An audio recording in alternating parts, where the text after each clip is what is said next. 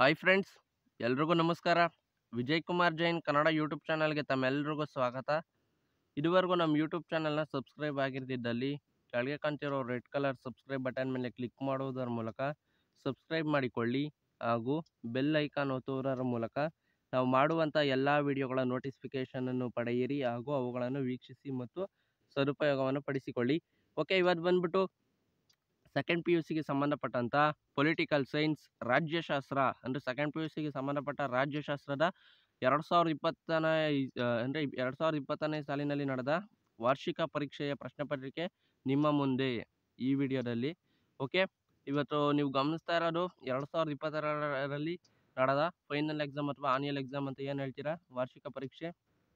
ಎರಡು ಸಾವಿರದ ಇಪ್ಪತ್ತರಲ್ಲಿ ನಡೆದ ಪ್ರಶ್ನೆ ಪತ್ರಿಕೆ ಇದಾಗಿದ್ದು ಈಗಾಗಲೇ ಎರಡು ಸಾವಿರದ ಇಪ್ಪತ್ತೊಂದು ಅಂದರೆ ಎರಡು ಸಾವಿರದ ಇಪ್ಪತ್ತೊಂದರಲ್ಲಿ ನೀವು ಸೆಕೆಂಡ್ ಪಿ ಯು ಸಿ ಅವರು ಎಲ್ಲ ಅದೇ ರೀತಿ ಪ್ರಮೋಟ್ ಆಗಿರ್ಬೋದು ಅಂತ ನೀವು ತಿಳ್ಕೊಂಡಿರ್ಬೋದು. ಆದರೆ ಕರೆಸ್ಪಾಂಡೆನ್ಸ್ ಕೂಡ ಕಟ್ಟಿರ್ತಾರಲ್ಲ ಅಂಥ ವಿದ್ಯಾರ್ಥಿಗಳಿಗೆ ಎಕ್ಸಾಮ್ ನಡೆದಿದೆ. ಆ ಎಕ್ಸಾಮ್ ಕ್ವಶನ್ ಪೇಪರನ್ನು ಕೂಡ ನಮ್ಮ ಚಾನಲ್ನಲ್ಲಿ ಅಪ್ಲೋಡ್ ಆಗಿದೆ. ಇವಾಗ ಎರಡು ಸಾವಿರದ ಇಪ್ಪತ್ತನೇ ಪ್ರಶ್ನೆ ಪತ್ರಿಕೆ ಇದಾಗಿದೆ. ಎರಡು ಸಾವಿರದ ಇಪ್ಪತ್ತೊಂದನೇದು ಅಪ್ಲೋಡ್ ಆಗಿದೆ. ನಂತರ ಎರಡು ಸಾವಿರದ ಇಪ್ಪತ್ತೆರಡಕ್ಕೆ ಸಂಬಂಧಪಟ್ಟಂತೆ ಎರಡು ಪ್ರಶ್ನೆ ಪತ್ರಿಕೆ ಅಂದರೆ ಮಾ, ಇವರು ಪದವಿ ಪೂರ್ವ ಶಿಕ್ಷಣ ಇಲಾಖೆಯವರು ರೀಸೆಂಟಾಗಿ ಮ ಪ್ರಕಟಿಸಿರುವಂಥದ್ದು ಮತ್ತು ವರ್ಲ್ಡ್ ಮತ್ತು ಹಿಂದೆ ಒಂದು ಸಲ ಪ್ರಕಟಿಸಿರುವಂಥದ್ದು ಪ್ರಶ್ನೆ ಪತ್ರಿಕೆ ಕೂಡ ನಮ್ಮ ಚಾನಲ್ನಲ್ಲಿ ಅಪ್ಲೋಡ್ ಆಗಿದೆ. ಈಗ ಎರಡು ಸಾವಿರದ ಇಪ್ಪತ್ತನೇ ಪ್ರಶ್ನೆ ಪತ್ರಿಕೆ ಹಾಗೂ ಎರಡು ಸಾವಿರದ ಇಪ್ಪತ್ತೊಂದನೇ ಪ್ರಶ್ನೆ ಪತ್ರಿಕೆ ಎರಡು ಸಾವಿರದ ಇಪ್ಪತ್ತೆರಡನೇ ಪ್ರಶ್ನೆ ಪತ್ರಿಕೆ ನೀವು ಪೊಲಿಟಿಕಲ್ ಸೈನ್ಸ್ ಎಂಬ ಪ್ಲೇ ಲಿಸ್ಟ್ಗೆ ಹೋಗ್ಬಿಟ್ಟು ನಮ್ಮ ಯೂಟ್ಯೂಬ್ ಚಾನಲ್ನ ಪ್ಲೇ ಲಿಸ್ಟ್ಗೆ ಹೋಗ್ಬಿಟ್ಟು ಅಲ್ಲಿ ಸಂಪೂರ್ಣವಾಗಿ ಗಮನಿಸ್ಬೋದು ಮತ್ತು ಕ್ವಶನ್ ಪೇಪರ್ನ ಸಂಪೂರ್ಣವಾಗಿ ಅಲ್ಲಿ ನಿಮಗೆ ಎಲ್ಲ ರೀತಿಯ ಅನಾಲಿಸಿಸ್ ಮಾಡಲಾಗಿದೆ ಅಥವಾ ಎಲ್ಲ ಪ್ರಶ್ನೆಗಳು ಮತ್ತು ಅದಕ್ಕೆ ಸಂಬಂಧಪಟ್ಟ ಆದಷ್ಟು ಉತ್ತರಗಳನ್ನು ಸಹ ನಿಮಗೆ ಅಲ್ಲಿ ತಿಳಿಯಬಹುದಾಗಿದೆ. ಅದರಿಂದ ಪ್ರತಿಯೊಬ್ಬರು ಕೂಡ ಈ ವಿಡಿಯೋ ಮುಗಿದ ನಂತರ ಅಥವಾ ಈ ವಿಡಿಯೋ ಐ ಕಾರ್ಡ್ ಅಂತ ನಿಮಗೆ ಐ ಕಾರ್ಡ್ ಅಂದರೆ ಈಗಾಗಲೇ ಗೊತ್ತಿರ್ಬೋದು ರೈಟ್ ಸೈಡಲ್ಲಿ ಅಪ್ ಅಪ್ಪಲ್ಲಿ ನಿಮಗೆ ಒಂದು ಏನು ಪೊಲಿಟಿಕಲ್ ಸೈನ್ಸ್ ನಾವು ಏನು ಇದಾಕಿರ್ತೀವಿ ಅದು ಬರುತ್ತೆ. ವಿಡಿಯೋ ನೋಡ್ತಿರ್ಬೇಕಾದ್ರೆ ಅದನ್ನು ಕ್ಲಿಕ್ ಮಾಡೋದರ ಮೂಲಕ ಕೂಡ ನೀವು ವಿಡಿಯೋವನ್ನು ವಾಚ್ ಮಾಡ್ಬೋದು. ಹಾಗೂ ಅಥವಾ ನಿಮ್ಮ, ನಮ್ಮ ಚಾನಲ್ನ ಪ್ಲೇಲಿಸ್ಟ್ಗೆ ಹೋಗೂ ಕೂಡ ಅಲ್ಲಿ ನೀವು ಪ್ರತಿಯೊಂದು ಕೂಡ ಗಮನಿಸಿ ನೀವು ಅಲ್ಲೂ ಕೂಡ ನೀವು ಇದು ಮಾಡ್ಬೋದು ಎಲ್ಲ ರೀತಿಯ ವಿಡಿಯೋವನ್ನು ನೀವು ಗಮನಿಸ್ಬೋದು ಅಂತ ಹೇಳ್ತಾ, ಇವತ್ತು ಎರಡು ಪಟಾಪಟಾಗಿ ನಾವು ಎರಡು ಸಾವಿರದ ಇಪ್ಪತ್ತೆರಡನೇ ಸಾಲಿನಲ್ಲಿ ನಡೆದಿರುವಂತಹ ಈ ಪೊಲಿಟಿಕಲ್ ಸೈನ್ಸ್ ಕ್ವಶನ್ ಪೇಪರನ್ನು ಒಮ್ಮೆ ಗಮನಿಸ್ಬಿಡೋಣ. ಯಾಕಂದರೆ ಈ ವಿಡಿಯೋ ಮಾಡ್ತಿರೋ ಉದ್ದೇಶ ಏನಂತ ಹೇಳಿದ್ರೆ, ಇವಾಗ ನೀವು ಎರಡು ಸಾವಿರದ ಇಪ್ಪತ್ತೆರಡನೇ ಸಾಲಿನಲ್ಲಿ ಈಗ ಎಕ್ಸಾಮ್ ಬರೆಯುವಂಥದ್ದು. ಈಗ ಎರಡು ಸಾವಿರದ ಇಪ್ಪತ್ತರ ಇಪ್ಪತ್ತರಲ್ಲಿ ಮತ್ತು ಎರಡು ಸಾವಿರದ ಇಪ್ಪತ್ತೆರಡರಲ್ಲಿ ಯಾವುದೇ ರೀತಿಯ ಸಿಲೆಬಸ್ ಚೇಂಜ್ ಮಾಡ, ಮಾಡಿಲ್ಲ. ಆದ ಕಾರಣ ಇನ್ನೇನು ಪ್ರಶ್ನೆಗಳು ಅವೇ ಇರ್ತವೆ. ನಿಮಗೆ ಒಮ್ಮೆ ಮನವರಿಕೆ ಆಗಲಿ, ಯಾವ ಪ್ರಶ್ನೆಗಳು ಅತಿ ಹೆಚ್ಚಾಗಿ ರಿಪೀಟ್ ಆಗಿದ್ದಾವೆ ಅಥವಾ ಯಾವ ರೀತಿ ಇಲ್ಲಿ ಪ್ರಶ್ನೆ ಪತ್ರಿಕೆ ಆನ್ಯಲ್ ಎಕ್ಸಾಮ್ನಲ್ಲಿ ನಮಗೆ ಬರುವಂಥದ್ದು ಅಂತ ಹೇಳ್ಬಿಟ್ಟು ಇದೇ ಟೈಪಲ್ಲಿ ನಿಮಗೆ ಬರುವಂಥದ್ದು. ಆದರೆ ಈಗ ಎರಡು ಸ್ವಲ್ಪ ಪ್ಯಾಟ್ರನನ್ನು ಚೇಂಜ್ ಮಾಡಿಲಾಗಿದೆ. ಅಂದರೆ ಕ್ವಶನ್ ಪ್ಯಾಟ್ರನನ್ನು ಒಂದು ಸ್ವಲ್ಪ ಹೆಚ್ಚುವರಿ ಪ್ರಶ್ನೆಗಳನ್ನು ನಿಗದಿ ಮಾಡಲಾಗಿದೆ. ಅದರಿಂದ ಅದು ಕೂಡ ಒಮ್ಮೆ ಗಮನಿಸಿ ಅದಕ್ಕೆ ಸಂಬಂಧಪಟ್ಟಂತೆ ಈಗ ಎರಡು ಸಾವಿರದ ಇಪ್ಪತ್ತೆರಡನೇ ಮಾದರಿ ಪ್ರಶ್ನೆ ಪತ್ರಿಕೆಯಲ್ಲಿ ನಾನು ಈಗಾಗಲೇ ಅಪ್ಲೋಡ್ ಮಾಡಲಾಗಿದೆ. ಅಲ್ಲೂ ಕೂಡ ಒಮ್ಮೆ ಗಮನಿಸ್ಬೋದು ಅಂತ ಹೇಳ್ತಾ. ಇವಾಗ ಮೊದಲಿಗೆ ಬಂದ್ಬಿಟ್ಟು ಇಲ್ಲಿ ಈ ಥರ ಇರ್ತಾರೆ ಇದು ಬಂದ್ಬಿಟ್ಟು three three seven eight four double four three ಅಂತ ಇರೋದು. ಅವರು ಪ್ರ, ಇದು ಪ್ರಶ್ನೆ ಪತ್ರಿಕೆಯ ನಂಬರ್ ಆಗಿರುತ್ತೆ. ಇನ್ನು ಎಂ ಟೂ ತೌಸಂಡ್ ಟ್ವೆಂಟಿ ಅನ್ನೋದು ಎರಡು ಸಾವಿರದ ಇಪ್ಪತ್ತೆರಡನೇ ಸಾಲಿನಲ್ಲಿ ನಡೆದ ಎಕ್ಸಾಮ್ ಅಂತ ತೋರಿಸುತ್ತೆ. ಮತ್ತು ರಿಜಿಸ್ಟರ್ ನಂಬರ್ ಅಂತ ಕೊಟ್ಟಿರುವಂಥದ್ದು. ಅಲ್ಲಿ ನೀವು ಆನ್ಸರ್ ಶೀಟ್ನಲ್ಲಿ ಏನು ರಿಜಿಸ್ಟರ್ ನಂಬರ್ ಬರಿತೀರಾ, ಇಲ್ಲೂ ಕೂಡ ನೀವು ಅದೇ ರಿಜಿಸ್ಟರ್ ನಂಬರನ್ನು ಬರಿಬೇಕಾಗುತ್ತೆ. ಓಕೆ ಇನ್ನು ನೆಕ್ಸ್ಟು ನಾವು ನೋಡೋದಾದರೆ ಸಬ್ಜೆಕ್ಟ್ ಅಂತ ಇದೆ. ಸಬ್ಜೆಕ್ಟ್ ಬಂದ್ಬಿಟ್ಟು twenty nine. Political science subject ಬಂದ್ಬಿಟ್ಟು ಸಬ್ಜೆಕ್ಟ್ ಕೋಡು ಅಥವಾ ಭಾಷಾ ಸಂಕೇತ ಅಂತ ಏನು ಕರಿತೀವಿ ಅದು ಇಪ್ಪತ್ತೊಂಬತ್ತಾಗಿರುತ್ತೆ ನೆಕ್ಸ್ಟು ಬಂದ್ಬಿಟ್ಟು ನೀವು ಸಬ್ಜೆಕ್ಟ್ ಕೋಡ್ ನೀವು ಒಮ್ಮೆ ಮಿಸ್ ಮಾಡ್ಕೊಂಡ್ಬೇಡಿ, ಯಾವುದೇ ಕಾರಣಕ್ಕೂ ಕರೆಕ್ಟಾಗಿ ಬರೀರಿ. ನಿಮ್ಮ ಆನ್ಸರ್ ಶೀಟ್ನಲ್ಲಿ ನೀವು ಸಬ್ಜೆಕ್ಟ್ ಕೋಡನ್ನು ಬರೀದೇ, ಬರೀಲೇಬೇಕಾಗುತ್ತೆ. ಬರೆದ ನಂತರ ನೀವು ಉತ್ತರ ಪ್ರಶ್ನೆ ಪತ್ರಿಕೆ ನೋಡಿಕೊಂಡು ಉತ್ತರಿಸಬೇಕಾಗುತ್ತೆ. ಅದರಿಂದ ಸಬ್ಜೆಕ್ಟ್ ಕೋಡ್ ನಿಮಗೆ ಎಲ್ಲಿ ಸಿಗುತ್ತೆ ಅಂದರೆ, ಎಲ್ಲ ಜ್ಞಾಪಕ ಇಟ್ಕೊಂಡು ಬ, ಜ್ಞಾಪಕ ಇಟ್ಕೊಂಡಿದ್ದೀವಿ ಅನ್ನೋರು ಬರೀರಿ. ಒಮ್ಮೆ ಗೊತ್ತಿಲ್ಲ ಅನ್ನೋರು ಏನು ಮಾಡ್ತೀರಾ ಅಂತ ಅಂದರೆ ಆಲ್ ಟಿಕೆಟ್ ಇರುತ್ತಲ್ಲ ಆಲ್ ಟಿಕೆಟ್ನಲ್ಲಿ ಇರುವಂಥದ್ದು ಅದನ್ನು ಕೂಡ ಒಮ್ಮೆ ಗಮನಿಸಿ ನಿಮಗೆ ಕೊಟ್ಟಿರೋ ಆಲ್ ಟಿಕೆಟ್ನಲ್ಲಿ ಸಬ್ಜೆಕ್ಟ್ ಕೋಡ್, ಅಲ್ಲೇ ಇರುವಂಥದ್ದು ನಿಮ್ಗೆ ಯಾವ್ಯಾವ ಸಬ್ಜೆಕ್ಟ್ ಇರ್ತವೆ ಅಂತ ಎಕ್ಸಾಮ್ ಇರುವಂಥದ್ದು ಅದ್ರ ಪಕ್ಕದಲ್ಲೇ ನಿಮಗೆ ಇರುವಂಥದ್ದು ಕೆಲವರು ತಿಳಿದವ್ರಿಗೂ ಇರ್ತಾರೆ, ತಿಳಿದವರು ಇರ್ತಾರೆ, ಅದರಿಂದ ಹೇಳಿರುವಂಥದ್ದು ಇನ್ನು ನೆಕ್ಸ್ಟ್ ನಾವು ನೋಡೋದಾದ್ರೆ political science Kannada and English version ಅಂತ ಇದೆ. ಈಗ ಪ್ರಸ್ತುತ ಅಂದರೆ, ಸದ್ಯಕ್ಕೆ ಈಗ ಕನ್ನಡ ವರ್ಷನ್ನಲ್ಲಿ ನಾವು ಕ್ವಶನ್ ಪೇಪರನ್ನು ನೋಡೋಣ. ಮತ್ತೆ ಮುಂದಿನ ವಿಡಿಯೋದಲ್ಲಿ ಯಾರಾದರೂ ಕಮೆಂಟ್ ಮಾಡಿದರೆ ಮುಂದಿನ ವಿಡಿಯೋದಲ್ಲೂ ಕೂಡ ಇಂಗ್ಲೀಷ್ನಲ್ಲಿ, ಇಂಗ್ಲೀಷ್ ವರ್ಷನಲ್ಲೂ ಕೂಡ ಆನ್ಸರ್ ಶೀಟನ್ನು ಅನಾಲಿಸಿಸ್ ಮಾಡ್ಬೋದು ಅಂತ ಹೇಳ್ತಾ, ಇನ್ನು ನೆಕ್ಸ್ಟು ಕನ್ನಡ ವರ್ಷನ್ ಇಲ್ಲಿ ನೀವು ನೋಡ್ತಾ ಇದ್ದೀರಾ time three hour fifteen minutes ಅದು common, next total number of questions forty ಅಂತ ಇದೆ ಆದರೆ ಬಟ್ ಈ ವರ್ಷ ಎರಡು ಸಾವಿರದ ಇಪ್ಪತ್ತೆರಡನೇ ಸಾಲಿನ ವಿದ್ಯಾರ್ಥಿಗಳಿಗೆ ಚೇಂಜ್ ಆಗಿದೆ ಅಲ್ಲಿ ಫಾರ್ಟಿ ಅನ್ನೋತಾಗೆ ಫಾರ್ಟಿ ಎನ್ನುವ, ಆ ಜಾಗದಲ್ಲಿ ತುಂಬ ಜಾಸ್ತಿ ಇನ್ನೂ, ಹದಿನೈದು ಪ್ರಶ್ನೆಗಳು ಅಥವಾ ಇನ್ನೂ ಜಾಸ್ತಿ ಹೆಚ್ಚಾಗಿ ಬಂದಿರುವಂಥದ್ದು, ಅದನ್ನು ಒಮ್ಮೆ ವಿಡಿಯೋವನ್ನು ಐ ಕಾರ್ಡ್ನಲ್ಲಿ ಅಥವಾ ನಮ್ಮ ಚಾನಲ್ ಪ್ಲೇಲಿಸ್ಟ್ಗೆ ಹೋಗಿ ಹೋಗಿ ಗಮನಿಸಿ ಈಗ ಮಾದರಿ ಪ್ರಶ್ ಪ್ರಶ್ನೆಗಳು ಅಂದರೆ ಮಾದರಿ ಪ್ರಶ್ನೆಗಳು ಪ್ರಶ್ನೋತ್ತರಗಳು, ಪ್ರಶ್ನೆ ಪತ್ರಿಕೆಯನ್ನು ಬಿಟ್ಟಿರುವಂಥದ್ದು, ಅದನ್ನು ಕೂಡ ಒಮ್ಮೆ ಗಮನಿಸಿದ್ರೆ ಅದೇ ಮಾದರಿಯಲ್ಲಿ ನಿಮಗೆ ಆನ್ಯಲ್ ಎಕ್ಸಾಮ್ ಬರುವಂಥದ್ದು. ಅದು ಎಲ್ಲ ಎಲ್ಲ ವಿಷಯಗಳಿಗೂ ಸಂಬಂಧಪಟ್ಟಂತೆ ಅಂದರೆ ಎಲ್ಲ ಭಾಷೆಗಳಿಗೂ ಸಂಬಂಧಪಟ್ಟಂತೆ, Kannada, English, political, history, sociology, economics, ಎಲ್ಲ ಭಾಷೆಗಳಿಗೂ ಸಂಬಂಧಪಟ್ಟಂತೆ ಈಗಾಗಲೇ ವಿಡಿಯೋವನ್ನು ಮಾಡಲಾಗಿದೆ. ಅದನ್ನು ಒಮ್ಮೆ ಗಮನಿಸಿ, ಇನ್ನು next maximum marks, hundred marks ಅಂತ ಇದೆ. ಓಕೆ, ಇನ್ನು ನೆಕ್ಸ್ಟು ನಾವು ನೋಡೋದಾದ್ರೆ ಕನ್ನಡ ವರ್ಷನ್ ಅಂತ ಇದೆ. ಸೂಚನೆಗಳು, ಕೆಲವೊಂದು ಇಂಟ್ರೊಡಕ್ಷನ್ ಕೊಟ್ಟಿದ್ದಾರೆ, ಅವನ್ನ ಓದ್ಕೊಂಬಂದ್ಬಿಡೋಣ ಎಲ್ಲ ಪ್ರಶ್ನೆಗಳಿಗೂ ಉತ್ತರಿಸಿ. ಆದಷ್ಟು ಪ್ರಯತ್ನ ಪಡಿ ಎಲ್ಲ ಪ್ರಶ್ನೆಗಳಿಗೆ ಉತ್ತರಿಸಿ, ಯಾವುದೇ ಕಾರಣಕ್ಕೂ ಇಲ್ಲ ಬಿಟ್ಟು ಬರೋದಾಗಲಿ ಆ ಥರ ಯಾವುದೇ ಕಾರಣಕ್ಕೂ ಮಾಡಬೇಡಿ. ಯಾಕಂದರೆ ಅಲ್ಲಿ ನೆಗೆಟಿವ್ ಬಂದ್ಬಿಡುತ್ತೆ. ನಿಮಗೆ, ನಿಮ್ಮ ಮೇಲೆ ನಿಮಗೆ ನೆಗೆಟಿವ್ ಬಂದ್ಬಿಡುತ್ತೆ. ಇಲ್ಲ ಬಿಡು, ನಾನು ಬರ್ದಿಲ್ಲ, ಅಷ್ಟು ಪ್ರಶ್ನೆ ಬಿಟ್ಬಿಟ್ಟೆ, ಇಷ್ಟು ಪ್ರಶ್ನೆ ಬಿಟ್ಬಿಟ್ಟೆ, ನನಗೆ ಆನ್ಸರ್ ಬರೋಲ್ಲ ಅಂತ ಹೇಳ್ಬಿಟ್ಟು ಆದಷ್ಟು ಅದ್ರ ಬಗ್ಗೆ ಏನು ಗೊತ್ತಿರುತ್ತೋ ಅದು ಬರೀರಿ, ಬರೆಯೋದಕ್ಕೆ ಪ್ರಯತ್ನ ಪಡಿ ಅಂತ ಹೇಳ್ತಾ ಇನ್ನು ನೆಕ್ಸ್ಟು ಎರಡನೇ ಪಾಯಿಂಟ್ ನೋಡೋದಾದ್ರೆ ಬಲಬದಿಯಲ್ಲಿ ಅಂಕಗಳನ್ನು ಸೂಚಿಸಲಾಗಿದೆ. ಇಲ್ಲಿ ಅಂಕಗಳ ಕಡೆ ಒಮ್ಮೆ ಕನ್ಫ್ಯೂಸ್ ಆಗೋ ಚಾನ್ಸಸ್ ಇರುತ್ತೆ. ಅದನ್ನು ನಾನು ಮುಂದೆ ನಿಮಗೆ ಯಾವ ರೀತಿ ನೀವು ಯಾವುದ್ರಲ್ಲಿ ಕನ್ಫ್ಯೂಸ್ ಆಗ್ತೀರಾ ಅಂತ ಹೇಳ್ಬಿಟ್ಟು ನಾನು ಹೇಳ್ತೀನಿ. ಅದರಿಂದ ಪ್ರತಿಯೊಬ್ಬರು ಕೂಡ ಯಾವುದೇ ಕಾರಣಕ್ಕೂ ಸ್ಕಿಪ್ ಮಾಡಬೇಡಿ ವಿಡಿಯೋವನ್ನು. ಸ್ಕಿಪ್ ಮಾಡಿದ್ರೆ ಮಿಸ್ ಮಾಡ್ಕೊತೀರಾ ಪಾಯಿಂಟ್ಸು ಪ್ರತಿಯೊಂದು ಪಾಯಿಂಟ್ಸ್ ಇಂಪಾರ್ಟೆಂಟ್ ಆಗಿರೋದ್ರಿಂದ ಯಾರು ಕೂಡ ಸ್ಕಿಪ್ ಮಾಡಬೇಡಿ. ಸಂಪೂರ್ಣವಾಗಿ ವಿಡಿಯೋವನ್ನು ಗಮನಿಸಿ ಹಾಗೂ ಅವುಗಳ, ಅವುಗಳನ್ನು ಒಮ್ಮೆ ನೀವು ನೀವು ಅಳವಡಿಸಿಕೊಳ್ಳಿ ನಿಮ್ಮ ಎಕ್ಸಾಮ್ನಲ್ಲಿ ಅಂತ ಹೇಳ್ತಾ ಅದರಿಂದ ಪ್ರತಿಯೊಬ್ಬರು ಕೂಡ ಸಂಪೂರ್ಣವಾಗಿ ನೋಡಿ. ಇನ್ನು ನೆಕ್ಸ್ಟ್ ನಾವು ಮೂರನೇ ಪ್ರಶ್ನೆ ನೋಡೋದಾದರೆ, ಪ್ರಶ್ನೆಗಳ ಸಂಖ್ಯೆಗಳನ್ನು ಸರಿಯಾಗಿ ಬರೆದು ಅವುಗಳ ಉತ್ತರವನ್ನು, ಉತ್ತರಗಳನ್ನು ಬರೆಯಿರಿ. ಪ್ರಶ್ನೆಗಳ ಸಂಖ್ಯೆ ಇಲ್ಲೂ ಕೂಡ ಮಿಸ್ಟೇಕು ತುಂಬ ಜನ ಮಾಡ್ಕೊಂಡಿರ್ತಾರೆ. ಮಾಡ್ಕೊಂಡ ನಂತರ ಆಮೇಲೆ ಅವರು ಕರೆಕ್ಟಾಗಿ ಉತ್ತರ ಬರೆದಿರ್ತಾರೆ. ಆಮೇಲೆ ಅವರು ವ್ಯಥೆ ಪಡೋ, ವ್ಯಥೆ ಅಂದರೆ ಅವರು ಒಮ್ಮೆ ಒಂಥರ ಬೇಜಾರಾಗೋ ಇದಾಗಿರುತ್ತೆ. ಯಾಕಂದರೆ ಉತ್ತರನೂ ಬರೆದಿರ್ತಾರೆ, ಅವರು ಪ್ರಶ್ನೆ ಕರೆಕ್ಟಾಗಿ ಉತ್ತರ ಬರೆದಿರ್ತಾರೆ. ಆದರೆ ಕ್ವಶನ್ ನಂಬರ್ ಅನ್ನೋದು ಅದು ಕರೆಕ್ಟಾಗಿ ಹಾಕಿಲ್ಲ ಅಂದರೆ ಅವ್ರು ಏನು ಬರೋರು ತಾನೇ ಏನು ಪ್ರಯೋಜನ ಅಂತ ಹೇಳಿ ನೀವೇ.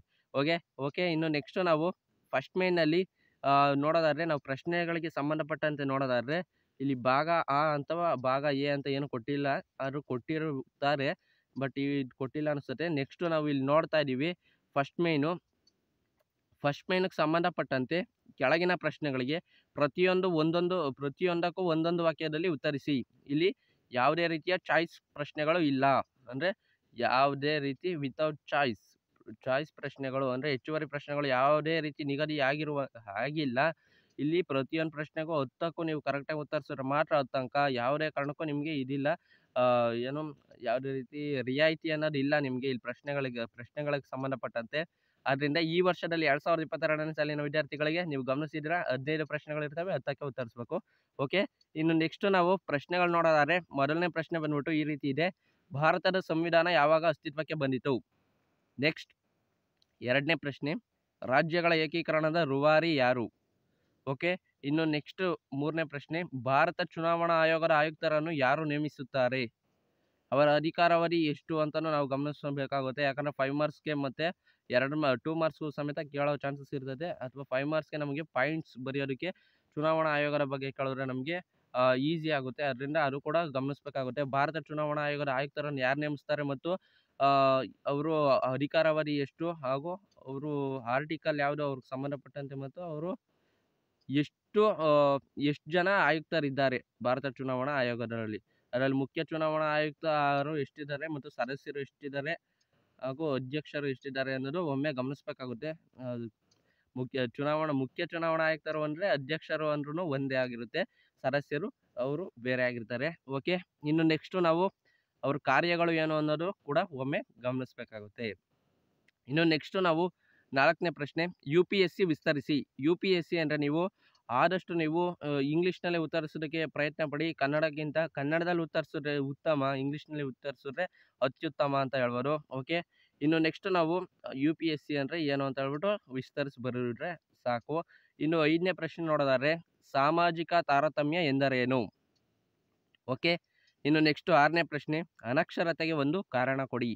ಯಾಕೆ ಅನಕ್ಷರತೆ ಅನ್ನೋದು ತುಂಬಾ ಜಾಸ್ತಿ ಆಗ್ತಿದೆ ದಿನ ದಿನಕ್ಕೂ ಅದರಲ್ಲೂ ಕೂಡ ಹಳ್ಳಿಯಲ್ಲಿ ಯಾವ ರೀತಿ ಆಗ್ತಿದೆ ಅನ್ನೋದಕ್ಕೆ ನೀವು ತುಂಬಾ ಇಲ್ಲಿ ಡಿಸ್ಕಸ್ ಮಾಡಬೇಕಾಗಿಲ್ಲ. ಯಾಕಂದರೆ ನೀವು ಐದು ಮಾರ್ಕ್ಸ್ಗೆ ಕೇಳ್ತಾರೆ, ಈ ಪ್ರಶ್ನೆನೂ ಕೂಡ ಐದು ಮಾರ್ಕ್ಸ್ನಲ್ಲೂ ಇದೆ.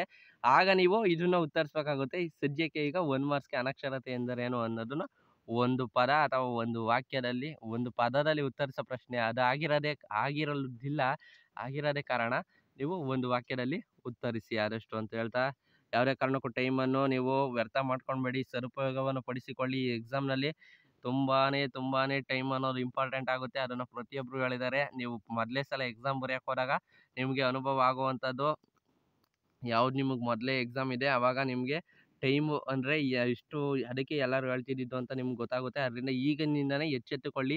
ಈಗಲಿನಿಂದನೇ ಈ ಥರ ಮಾಡಲ್ ಕ್ವಶನ್ ಪೇಪರ್ ಏನಿದ್ದಾವೆ ಅವನ್ನು ಕೂಡ ಪ್ರಾಕ್ಟೀಸ್ ಮಾಡಿ ಪ್ರಾಕ್ಟೀಸ್ ಮಾಡಿ, ಟೈಮ್ ಇಟ್ಕೊಂಡು ಮಾಡಿ ನೀವು ಆವಾಗ ನಿಮಗೆ ಒಂದು ಐಡಿಯಾ ಸಿಗುತ್ತೆ. ಟೈಮ್ ಅನ್ನೋದು ನಾವು ಎಕ್ಸಾಮ್ನಲ್ಲಿ ಯಾವ ರೀತಿ ನಾವು ಬಳಸ್ಕೊಬೇಕು ಅನ್ನೋದು ಈಗಲಿಂದನೇ ನಿಮಗೆ ಗೊತ್ತಾಗುತ್ತೆ ಅಂತ ಹೇಳ್ತಾ, ಇನ್ನು ನೆಕ್ಸ್ಟ್ ನಾವು ಟೈಮ್ ವೇಸ್ಟ್ ಮಾಡದೆ, ಇನ್ನು ಸೆಕೆಂಡ್ ಮೈನ್ಗೆ ಹೋಗೋರಾದ್ರೆ ಯಾವ ರೀತಿ ಪ್ರಶ್ನೆಗಳಿದ್ದಾವೆ ಅಂತ? ಸಾರಿ ಸಾರಿ ಸಾರಿ ಸೆಕೆಂಡ್ ಮೈನ್ ಅಲ್ಲ, ಇನ್ನು ಈ ಪ್ರಶ್ನೆಗಳಿದ್ದಾವೆ ನಾನು ಗಮನಿಸಲಿಲ್ಲ.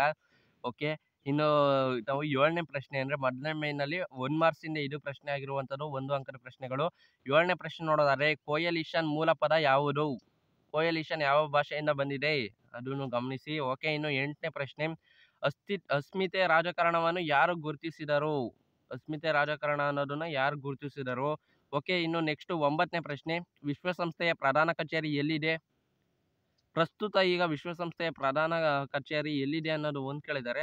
ಪ್ರಸ್ತುತ ಯಾರಿದ್ದಾರೆ ಅನ್ನೋದನ್ನು ಕೂಡ ನೀವು ಜ್ಞಾಪಕ ಒಂದು ಇದು ಇಟ್ಕೊಬೇಕಾಗುತ್ತೆ ಯಾಕಂದರೆ ನಿಮಗೆ ರಾಜ್ಯಶಾಸ್ತ್ರ ಎಂಬ ನೀವು ಕಾನ್ಸೆಪ್ಟು ಅಥವಾ ಸಬ್ಜೆಕ್ಟ್ ನೀವು ತಗೊಂಡಿರೋದ್ರಿಂದ ವಿಶ್ವಸಂಸ್ಥೆ ಅಥವಾ ಎಲ್ಲ ಚುನಾವಣಾ ಆಯೋಗ ಎಲ್ಲವೂ ರಾಜ್ಯಕ್ಕೆ ಸಂಬಂಧಪಟ್ಟಿರೋದ್ರಿಂದ ಅಥವಾ ರಾಜ್ಯಶಾಸ್ತ್ರಕ್ಕೆ ಸಂಬಂಧಪಟ್ಟಿರೋದ್ರಿಂದ ನೀವು ಅದನ್ನು ಗಮನಿಸಬೇಕಾಗುತ್ತೆ. ಪ್ರಸ್ತುತ ಯಾರಿದ್ದಾರೆ ಮತ್ತು ಹಿಂದೆ ಯಾರಿದ್ರು ಅವರು ಎಷ್ಟು ವರ್ಷ ಇನ್ನು ಮುಂದೆ ವರಿತಾರೆ ಅಂತ ಹೇಳ್ಬಿಟ್ಟು ಗಮನಿಸಬೇಕಾಗುತ್ತೆ ಮತ್ತು ಅವರ ಕಾರ್ಯಗಳು ಯಾವುವು ಅಂತ ಹೇಳ್ಬಿಟ್ಟು ಅದನ್ನು ಕೂಡ ಗಮನಿಸಬೇಕಾಗುತ್ತೆ. ಇನ್ನು ನೆಕ್ಸ್ಟು ನಾವು ಹತ್ತನೇ ಪ್ರಶ್ನೆಗೆ ಹೋಗೋದಾದ್ರೆ, ಭಾರತದ ವಿದೇಶಾಂಗ ನೀತಿಯ ಪಿತಾಮಹ ಯಾರು?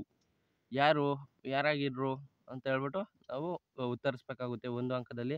ಯಾರು ಅಂತ ಹೇಳ್ಬಿಟ್ಟು ಕಮೆಂಟ್ ತಪ್ಪರೆ ಕಮೆಂಟ್ ಮಾಡಿ. ಓಕೆ, ಇನ್ನು ನೆಕ್ಸ್ಟ್ ನಾವು ಸೆಕೆಂಡ್ ಮೇನಲ್ಲಿ ಈಗ ಬರೋಣ ನಾವು. ಸೆಕೆಂಡ್ ಮೇನಲ್ಲಿ ಎರಡನೇ ಭಾಗದಲ್ಲಿ ಕೆಳಗಿನ ಯಾವುದಾದರೂ ಹತ್ತು ಪ್ರಶ್ನೆಗಳಿಗೆ ಪ್ರತಿಯೊಂದು ಎರ, ಪ್ರತಿಯೊಂದಕ್ಕೂ ಎರಡರಿಂದ ಮೂರು ವಾಕ್ಯಗಳಲ್ಲಿ ಉತ್ತರಿಸಿ ಅಂತ ಇದೆ.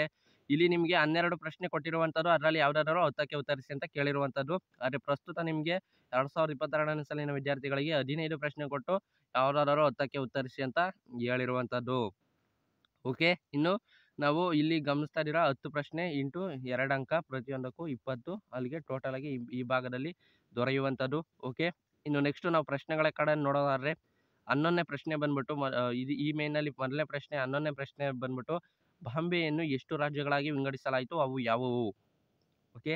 ಅಲ್ಲಿ ನೀವು ಎರಡು ಪ್ರಶ್ನೆಯಲ್ಲಿ ನಿಮಗೆ ಕೇಳಿರುವಂಥದ್ದು ಗೊತ್ತಾಯಿತು. ಒಂದು ಕ್ವಶನ್ ಮತ್ತು ಅದಕ್ಕೆ ಸಂಬಂಧಪಟ್ಟಂತೆ ಅದಕ್ಕೆ ಸಂಬಂಧಪಟ್ಟಂತೆ ಸಬ್ ಕ್ವಶನ್ ಇನ್ನೊಂದಾಗಿದೆ. ಅದನ್ನು ಗಮನಿಸ್ತಾ ಇದ್ದೀರಾ? ಅದಕ್ಕಿಂತ ನೀವು ಇನ್ನೂ ಒಂದು ಇದರಲ್ಲಿ ಸೇರಿಸ್ಕೊಬೇಕಾಗುತ್ತೆ. ಬಾಂಬೆಯನ್ನು ಎಷ್ಟು ರಾಜ್ಯಗಳಾಗಿ ವಿಂಗಡಿಸಲಾಯಿತು. ಅವು ಯಾವುವು? ಮತ್ತು ಬಾಂಬೆ ಬಾಂಬೆ ಯಾವಾಗ ಬಾಂಬೆ ರಾಜ್ಯವನ್ನು ಯಾವಾಗ ವಿಂಗಡಿಸಲಾಯಿತು? ಅಂದರೆ ಯಾವ ಇಯರ್ನಲ್ಲಿ? ಓಕೆನಾ? ಅದನ್ನು ಒಮ್ಮೆ ಗಮನಿಸಿ. ಇನ್ನು ನೆಕ್ಸ್ಟ್ ಹನ್ನೆರಡನೇ ಪ್ರಶ್ನೆ ನೋಡೋದಾದರೆ, ಬಹುಪಕ್ಷ ಪದ್ಧತಿ ಎಂದರೇನು ಉದಾಹರಣೆ ಕೊಡಿ. ಇಲ್ಲೂ ಕೂಡ ಎರಡು ಪ್ರಶ್ನೆ ನಮಗೆ ಇರುವಂಥದ್ದು. ಬಹುಪಕ್ಷ ಪದ್ಧತಿ ಅಂದರೆ ಯಾವ್ಯಾವ ದೇಶದಲ್ಲಿ ಬಹುಪಕ್ಷ ಪದ್ಧತಿ ಈಗ ಜಾರಿಯಲ್ಲಿದೆ ಅಂತ ಹೇಳ್ಬಿಟ್ಟು, ಏಕಪಕ್ಷ ಪದ್ಧತಿ, ಬಹುಪಕ್ಷ ಪದ್ಧತಿ ಅದ ರೀತಿ ಯಾವ್ಯಾವ ಇದಾವೆ ಅಂತ ಹೇಳ್ಬಿಟ್ಟು ನೀವು ಉದಾಹರಣೆಯನ್ನು ಸಮೇತ ಕೊಡಬೇಕಾಗುತ್ತೆ. ವಾಕ್ಯ ಅದಕ್ಕೆ ಉತ್ತರ, ಅದಕ್ಕೆ ಸಂಬಂಧಪಟ್ಟ ಉತ್ತರ ಬರೆದು ಉದಾಹರಣೆ ಕೂಡ ಕೊಡಬೇಕಾಗುತ್ತೆ.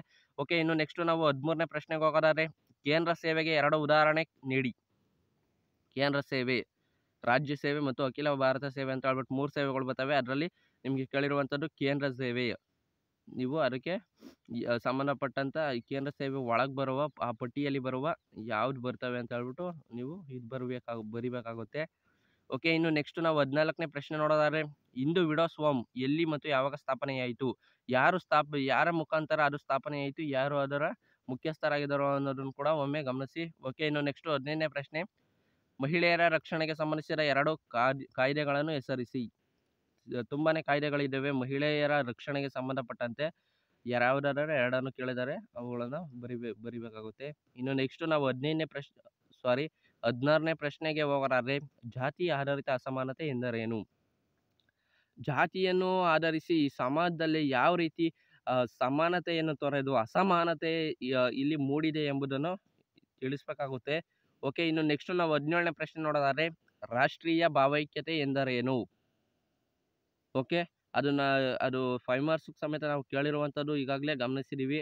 ರಾಷ್ಟ್ರೀಯ ಭಾವೈಕ್ಯತೆಯನ್ನು ಮೂಡಲು ಕಾರಣಗಳೇನು ಅಥವಾ ರಾಷ್ಟ್ರೀಯ ಭಾವೈಕ್ಯತೆಯನ್ನು ಹೊಡೆದಾಳುವ ಅಂಶಗಳ್ಯಾವುವು ಅಂತ ಹೇಳ್ಬಿಟ್ಟು, ಅದರಿಂದ ಇದಕ್ಕೆ ಸಂಬಂಧಪಟ್ಟಂಥ ಸಬ್ ಕ್ವಶನ್ಸ್ ನೀವೇ ಪ್ರಿಪೇರ್ ಮಾಡಿಕೊಂಡು ಇದಕ್ಕೆ ನೀವೇ ಉತ್ತರವನ್ನು ಕಂಡುಕೊಂಡಿದ್ದಲ್ಲಿ ಫೈವ್ ಮಾರ್ಕ್ಸ್ಗಳು ಕೂಡ ನೀವು ಸುಲಭವಾಗಿ ಹಂಗ ಪ್ರಶ್ನೆ ಕೇಳಿದ್ದಲ್ಲಿ ನೀವು ಉತ್ತರಿಸಲು ಸಾಧ್ಯವಾಗುತ್ತೆ ಅಂತ ಹೇಳ್ತಾ, ಓಕೆ, ಇನ್ನು ನೆಕ್ಸ್ಟ್ ನಾವು ಹದಿನೆಂಟನೇ ಪ್ರಶ್ನೆ ನೋಡೋದಾದ್ರೆ ನೆಕ್ಸ್ಟ್ ಪ್ರಶ್ನೆ ಭ್ರಷ್ಟಾಚಾರ ಎಂದರೇನು ಎಲ್ಲ ಈ ಪ್ರಶ್ನೆಗಳು ಫೈವ್ ಮಾರ್ಕ್ಸ್ನಲ್ಲೂ ಕೂಡ ಇರುವಂಥದ್ದು ಅದನ್ನು ಗಮನಿಸಿ ಹಾಗೂ ನೀವೇ ಸಬ್ ಕ್ವಶನ್ಸ್ ಮಾಡಿಕೊಂಡು ಅದಕ್ಕೆ ಉತ್ತರ ಕಂಡುಕೊಳ್ಳಿ. ಇನ್ನು ನೆಕ್ಸ್ಟು ನಾವು ಹತ್ತೊಂಬತ್ತನೇ ಪ್ರಶ್ನೆ, ಉದಾರೀಕರಣ ಎಂದರೇನು ಇದು ಕೂಡ ನೀವು ಗಮನಿಸಿದ್ದೀರಾ? ಇದು ಕೂಡ ಫೈವ್ ಮಾರ್ಕ್ಸ್ನಲ್ಲಿ ಇರುವಂಥದ್ದು. ಓಕೆ ಇನ್ನು ನೆಕ್ಸ್ಟು ನಾವು ಇನ್ನು ಮುಂದುವರೆದ ಪ್ರಶ್ನೆಗಳು ಅಂದರೆ ಇಪ್ಪತ್ತನೇ ಪ್ರಶ್ನೆ ನೋಡೋದಾದ್ರೆ, ಇಪ್ಪತ್ತನೇ ಪ್ರಶ್ನೆ ಈ ರೀತಿಯಾಗಿದೆ. ವಿಶ್ವಸಂಸ್ಥೆಯ ಎರಡು ಉದ್ದೇಶಗಳನ್ನು ತಿಳಿಸಿ. ಆಗಲೇ ನಾನು ಹೇಳಿದ್ದಾಗೆ ನೋಡಿದ್ರಲ್ಲ, ವಿಶ್ವಸಂಸ್ಥೆಯ ಸಂಬಂಧಪಟ್ಟಂತೆ ಅದು ಸಂಬಂಧಪಟ್ಟಂತೆ ಇಲ್ಲಿ ಕೇಳ್ಬಿಟ್ಟಿದ್ದಾರೆ ಆವಾಗಲೇ. ನೋಡಿ, ಗಮನಿಸಿ, ಅದರಿಂದ ಪ್ರತಿಯೊಬ್ಬರು ಕೂಡ ಪ್ರಿಪೇರ್ ಆಗಿ ಪ್ರತಿಯೊಂದು ಪ್ರಶ್ನೆಗೂ. ಇನ್ನು ನೆಕ್ಸ್ಟ್ ಇಪ್ಪತ್ತೊಂದನೇ ಪ್ರಶ್ನೆ, ಸಾರ್ಕ್ನ ಎರಡು ಸದಸ್ಯ ರಾಷ್ಟ್ರಗಳನ್ನು ಹೆಸರಿಸಿ. ಸಾರ್ಕ್ನ ಸದಸ್ಯ ರಾಷ್ಟ್ರಗಳು, ಸಾರ್ಕ್ ಅನ್ನೋ ಹೆಸರಲ್ಲಿ ತುಂಬಾ ಸಾರ್ಕ್ ಅನ್ನೋದು ವಿಸ್ತರಿಸ್ತಾರಲ್ಲ, S A A R C SAARC. ಇನ್ನೊಂದು ಸ್ಪೆಲ್ಲಿಂಗ್ ಬರ್ಬೋದು. ಆ ಸಾರ್ಕ್ ಅನ್ನೋ ಶಬ್ದ ಇದೆಯಲ್ಲ, ಆ ಶಬ್ದದಲ್ಲೇ ನಿಮಗೆ ರಾಷ್ಟ್ರಗಳಿದ್ದಾವೆ ಆ ರಾಷ್ಟ್ರಗಳನ್ನು ಉತ್ತರಿಸಿ, ಅದು ಸಾರ್ಕ್ ಎಂಬ ಪದದ ಅದರೊಳಗೆ ವಿತರಿಸ್ ವಿಸ್ತರಿಸಿದ್ರೆ ಅಲ್ಲೇ ನಿಮಗೆ ಆನ್ಸರ್ ಇರುವಂಥದ್ದು ಓಕೆನಾ ಇನ್ನು ನೆಕ್ಸ್ಟು ನಾವು ಇಪ್ಪತ್ತೆರಡನೇ ಪ್ರಶ್ನೆ ನೋಡೋದಾದ್ರೆ ತಾನ್ಸ್ಕ್ಯಾಂಟ್ ಒಪ್ಪಂದದಲ್ಲಿ ಸಹಿ ಹಾಕಿದವರು ಯಾರು? ತಾನ್ಸ್ಕ್ಯಾಂಟ್ ಒಪ್ಪಂದದಲ್ಲಿ ಅಂದರೆ ಯಾವ ಎರಡು ರಾಷ್ಟ್ರಗಳು ಸಹಿ ಹಾಕಿದವೆ ಅಂತ ಹೇಳ್ಬಿಟ್ಟು ಅಲ್ಲಿ ಕೇಳಿರುವಂಥದ್ದು ಒಪ್ಪಂದದಲ್ಲಿ ಸಹಿ ಹಾಕಿದವರು ಯಾರು? ಸಹಿ ಹಾಕಿದವರು ಅಂದರೆ ಇವಾಗ ಪ್ರಧಾನಿಗಳು ಇರ್ತಾರಲ್ಲ ಅಥವಾ ಅದಕ್ಕೆ ಸಂಬಂಧಪಟ್ಟಂತೆ ವಿದೇಶಾಂಗ ಸಚಿವರು ಇರ್ತಾರಲ್ಲ ಅವರು ಸಹಿ ಹಾಕಿರೋದು ಯಾರು ಅಂತ ಕೇಳಿರಿದ್ದಾರೆ ಹಾಗೂ ಯಾವ ರಾಷ್ಟ್ರಗಳ ನಡುವೆ ತಾನ್ಷ್ಕ್ಯಾಂಟ್ ಒಪ್ಪಂದ ನಡೆದಿದೆ ಅನ್ನೋದನ್ನು ಕೂಡ ಒಮ್ಮೆ ಗಮನಿಸಿ. ಓಕೆ, ಇನ್ನು ನೆಕ್ಸ್ಟ್ ನಾವು ಥರ್ಡ್ ಮೇನ್ ಅಂದರೆ ಐದು ಅಂಕದ ಪ್ರಶ್ನೆಗಳ ಕಡೆ ಒಮ್ಮೆ ಗಮನಿಸಿದಾದ್ರೆ, ಕೆಳಗಿನ ಯಾವುದಾದರೂ ಎಂಟು ಪ್ರಶ್ನೆಗಳಿಗೆ ಪ್ರತಿಯೊಂದಕ್ಕೂ ಹದಿನೈದರಿಂದ ಇಪ್ಪತ್ತು ವಾಕ್ಯಗಳಲ್ಲಿ ಉತ್ತರಿಸಿ. ಎಂಟು ಪ್ರಶ್ನೆಗಳಿಗೆ ಕೇಳಿರುವಂಥದ್ದು ಇಲ್ಲಿ ನಿಮಗೆ ಹನ್ನೆರಡು ಪ್ರಶ್ನೆ ಕೊಟ್ಟಿರ್ತಾರೆ. ಹನ್ನೆರಡರಲ್ಲಿ ಯಾವ್ದಾರು ಎಂಟಕ್ಕೆ ಉತ್ತರಿಸಬೇಕಾಗುತ್ತೆ. ಆದರೆ ಪ್ರಸ್ತುತ ಎರಡು ಸಾವಿರದ ಇಪ್ಪತ್ತೆರಡನೇ ವಿದ್ಯಾರ್ಥಿ ಸಾಲುಗಳಿಗೆ ವಿದ್ಯಾರ್ಥಿಗಳಿಗೆ ಅಥವಾ ಎರಡು ಸಾವಿರದ ಇಪ್ಪತ್ತೆರಡನೇ ಸಾಲಿನ ಓದ್ತಾ ಇರೋ ವಿದ್ಯಾ, ವ್ಯಾಸಂಗ ಮಾಡ್ತಾ ಇರೋ ಸೆಕೆಂಡ್ ಪಿ ಯು ಸಿ ವಿದ್ಯಾರ್ಥಿಗಳಿಗೆ ಹದಿನೈದು ಪ್ರಶ್ನೆಗಳು ಕೊಟ್ಟಿರ್ತಾರೆ. ಹದಿನೈದರಲ್ಲಿ ಯಾವುದಾದರೂ ಎಂಟಕ್ಕೆ ಉತ್ತರಿಸಬೇಕಾಗುತ್ತೆ. ಇಲ್ಲಿ ನಿಮಗೆ ಹನ್ನೆರಡು ಪ್ರಶ್ನೆ ಕೊಡ್ತಿದ್ರು ಅಥವಾ ನಾಲ್ಕು ಪ್ರಶ್ನೆ ಇಲ್ಲಿ ಹೆಚ್ಚುವರಿಯಾಗಿ ದೊರೆತಿದ್ವು. ಆದರೆ ನಿಮಗೆ ಏಳು ಪ್ರಶ್ನೆಗಳು ದೊರೀತಾ ಇರುವಂಥದ್ದು ಇಮೇಲ್ನಲ್ಲಿ ಅಂದರೆ ಅರ್ಧಕ್ಕರ್ಧ ಇರುವಂಥದ್ದು. ಓಕೆ? ಇನ್ನು ನೆಕ್ಸ್ಟ್ ನಾವು ಯಾಕೆ ಒತ್ತು ಒತ್ತಿ ಒತ್ತಿ ಹೇಳ್ತಾ ಇರೋದು ಅಂದರೆ ನೀವು ಈ ವರ್ಷದಲ್ಲಿ ಹಂಡ್ರೆಡ್ ಪರ್ಸೆಂಟ್ ರಿಶ, ರಿಸಲ್ಟನ್ನು ತಂದು ಕೊಡಬೇಕಾಗುತ್ತೆ ತರಲೇಬೇಕಾಗುತ್ತೆ. ಯಾಕಂದರೆ ಅಷ್ಟೊಂದು ನಿಮಗೆ ಹೆಚ್ಚುವರಿ ಪ್ರಶ್ನೆಗಳು ಅಥವಾ ರಿಯಾಯಿತಿ ಕೊಡ್ತಿರುವಂಥದ್ದು ಪ್ರಶ್ನೆಗಳಲ್ಲಿ. ಅದರಿಂದ ಹೇಳ್ತಿರುವಂಥದ್ದು ಓಕೆ, ಇನ್ನು ನಾವು ಪ್ರಶ್ನೆಗಳ ಕಡೆ ಗಮನಿಸೋದಾದ್ರೆ ಇಲ್ಲಿ ನೀವು ಗಮನಿಸ್ತಾ ಇದ್ದೀರಾ? ಇಪ್ಪತ್ತ್ಮೂರನೇ ಪ್ರಶ್ನೆ ಬಂದ್ಬಿಟ್ಟು, ಸಾವಿರದ ಒಂಬೈನೂರ ನಲವತ್ತೇಳರ ಭಾರತ ಸ್ವತಂತ್ರ ಕಾಯ್ದೆಯ ಮುಖ್ಯಾಂಶಗಳನ್ನು ಬರೆಯಿರಿ. ನೆಕ್ಸ್ಟ್. ಸಾವಿರದ ಒಂಬೈನೂರ ನಲವತ್ತೇಳರ ಭಾರತ ಸ್ವತಂತ್ರ ಕಾಯ್ದೆಯ ಮುಖ್ಯಾಂಶ ಅಂದರೆ, ಒಂದು ಒಂದು ಏಯ್ಟ್ ಟು ಟೆನ್ ಪಾಯಿಂಟ್ಸ್ ಬರೀಬೇಕಾಗುತ್ತೆ. ಓಕೆ, ಇನ್ನು ನೆಕ್ಸ್ಟ್ ಇಪ್ಪತ್ನಾಲ್ಕನೇ ಪ್ರಶ್ನೆ. ಪ್ರಥಮ ಸಾರ್ವತ್ರಿಕ ಚುನಾವಣೆಯ ಬಗ್ಗೆ ಟಿಪ್ಪಣಿ ಬರೆಯಿರಿ. ಪ್ರಥಮ ಸಾರ್ವತ್ರಿಕ ಚುನಾವಣೆ ಅಂದರೆ ಪ್ರಪ್ರಥಮ ನಮ್ಮ ದೇಶದಲ್ಲಿ ನಡೆದ, ಭಾರತದಲ್ಲಿ ನಡೆದ, ಸ್ವತಂತ್ರ ನಂತರ ನಡೆದಿರುವ ಚುನಾವಣೆ, ಸಾರ್ವತ್ರಿಕ ಚುನಾವಣೆ. ಈಗ ಏನು ನೋಡ್ತಾ ಇದ್ದೀವಿ ಚುನಾವಣೆ, ಮೊದಲ ಚುನಾವಣೆ ಬಗ್ಗೆ ಟಿಪ್ಪಣಿ ಬರೀಬೇಕಾಗುತ್ತೆ. ಓಕೆ, ಇನ್ನು ನೆಕ್ಸ್ಟು ಇಪ್ಪತ್ತೈದನೇ ಪ್ರಶ್ನೆ. ವಿದ್ಯುನ್ಮಾನ ಮತಯಂತ್ರದಿಂದ ಆಗುವ ಪ್ರಯೋಜನಗಳನ್ನು ವಿವರಿಸಿ. ಅದು ಕೂಡ ತುಂಬಾ ಸುಲಭವಾಗಿದೆ, ಅದು ಕೂಡ ಬರೀಬೇಕಾಗುತ್ತೆ. ಇನ್ನು ನೆಕ್ಸ್ಟ್ ಇಪ್ಪತ್ತಾರನೇ ಪ್ರಶ್ನೆ. ಜಿಲ್ಲಾಧಿಕಾರಿಯ ಐದು ಕಾರ್ಯಗಳನ್ನು ತಿಳಿಸಿ. ಜಿಲ್ಲಾಧಿಕಾರಿ ನಾವೇನು ಅಂದ್ಕೊಂಡಿರುವರು ಅವ್ರಿಗೆ ಏನು ಸಿಕ್ಕಾಪಟ್ಟೆ ನೀವು ಈ ಪ್ರಶ್ನೆಗಳಿಗೆ ಉತ್ತರ ನೀವು ಗಮನಿಸಿದ್ದಾರೆ ತುಂಬಾ ಅವ್ರಿಗೆ ಏನು ಕಾರ್ಯಗಳಿರುವಂಥದ್ದು ಅದು ನಮಗೆ, ನಮಗೂ ನಿಮಗೂ ಎಲ್ಲ ಕಾರ್ಯಗಳು ಅದು ತಿಳಿದಿರುವಂಥದ್ದು ಅದರಿಂದ ಈಸಿಯಾಗಿ ನಮಗೆ ಇಲ್ಲಿ ಉತ್ತರಿಸೋದಕ್ಕೆ ಆಗುತ್ತೆ. ಜಿಲ್ಲಾಧಿಕಾರಿಯ ಐದು ಕಾರ್ಯಗಳು ಅಂತ ಹೇಳಿದ್ರೆ ನಾವು ಹತ್ತು ಕಾರ್ಯಗಳನ್ನು ಕೂಡ ಉತ್ತರಿಸ್ಬೋದು. ಯಾಕಂದರೆ ನಮ್ಮ ಸುತ್ತಮುತ್ತ ನಡೀತಾ ಇರೋದು ಕಣ್ರಿ ಅವೆಲ್ಲ. ಓಕೆನಾ? ಇನ್ನು ನೆಕ್ಸ್ಟ್ ನಾವು ಇಪ್ಪತ್ತೇಳನೇ ಪ್ರಶ್ನೆಗೆ ಹೋಗೋದಾದ್ರೆ, ಕಾರ್ಮಿಕ ಚಳುವಳಿಗೆ ಕಾರಣಗಳು ಯಾವುವು? ನೆಕ್ಸ್ಟ್ ಇಪ್ಪತ್ತೆಂಟನೇ ಪ್ರಶ್ನೆ, ಮಾನವ ಹಕ್ಕುಗಳ ಚಳುವಳಿಯ ಮುಖ್ಯ ಕಾರಣಗಳನ್ನು ವಿವರಿಸಿ. ನೆಕ್ಸ್ಟ್ ಇಪ್ಪತ್ತೊಂಬತ್ತನೇ ಪ್ರಶ್ನೆ ನೋಡೋದಾದರೆ, ರಾಷ್ಟ್ರ ನಿರ್ಮಾಣ ಕಾರ್ಯದಲ್ಲಿ ಉಂಟಾಗುವ ಪ್ರಮುಖ ತೊಡಕುಗಳನ್ನು ವಿವರಿಸಿ. ಓಕೆನಾ? ಇನ್ನು ನೆಕ್ಸ್ಟು ನಾವು ಮೂವತ್ತನೇ ಪ್ರಶ್ನೆ ನೋಡೋದಾದರೆ, ಸಮ್ಮಿಶ್ರ ವ್ಯವಸ್ಥೆಯ ದೋಷಗಳು ಯಾವುವು? ಓಕೆ? ಮೂವತ್ತೊಂದನೇ ಪ್ರಶ್ನೆ, ಖಾಸಗೀಕರಣದ ರಾಜಕೀಯ ಪರಿಣಾಮಗಳನ್ನು ಬರೆಯಿರಿ.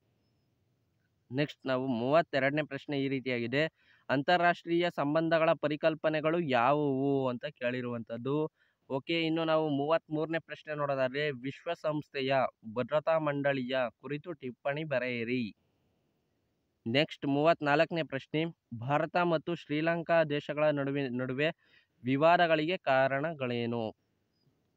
ಈಗ ಆವಾಗಲೇ ಏನು ನೋಡಿದ್ರಿ ನೀವು? ಇವಾಗ ನೋಡ್ತಾ ಇದ್ದೀರಾ ತಾನ್ಸ್ಕ್ಯಾಂಟ್ ಒಪ್ಪಂದ ಅಂತ ಹೇಳ್ಬಿಟ್ಟು, ಇದು ಅಂತಾರಾಷ್ಟ್ರೀಯ ಸಂಬಂಧಗಳು ಎಂಬ ನಿಮ್ಮ ಲೆಸನ್ನಲ್ಲಿ ಬರುವಂಥದ್ದು ಇದು ಕೂಡ ಭಾರತ ಮತ್ತು ಶ್ರೀಲಂಕಾ ನಡುವೆ ಶ್ರೀಲಂಕಾ ದೇಶದ ನಡುವೆ ವಿವಾದಗಳಿಗೆ ಕಾರಣಗಳೇನು ಅಂತ ಹೇಳ್ಬಿಟ್ಟು ಕೇಳಿರುವಂಥದ್ದು.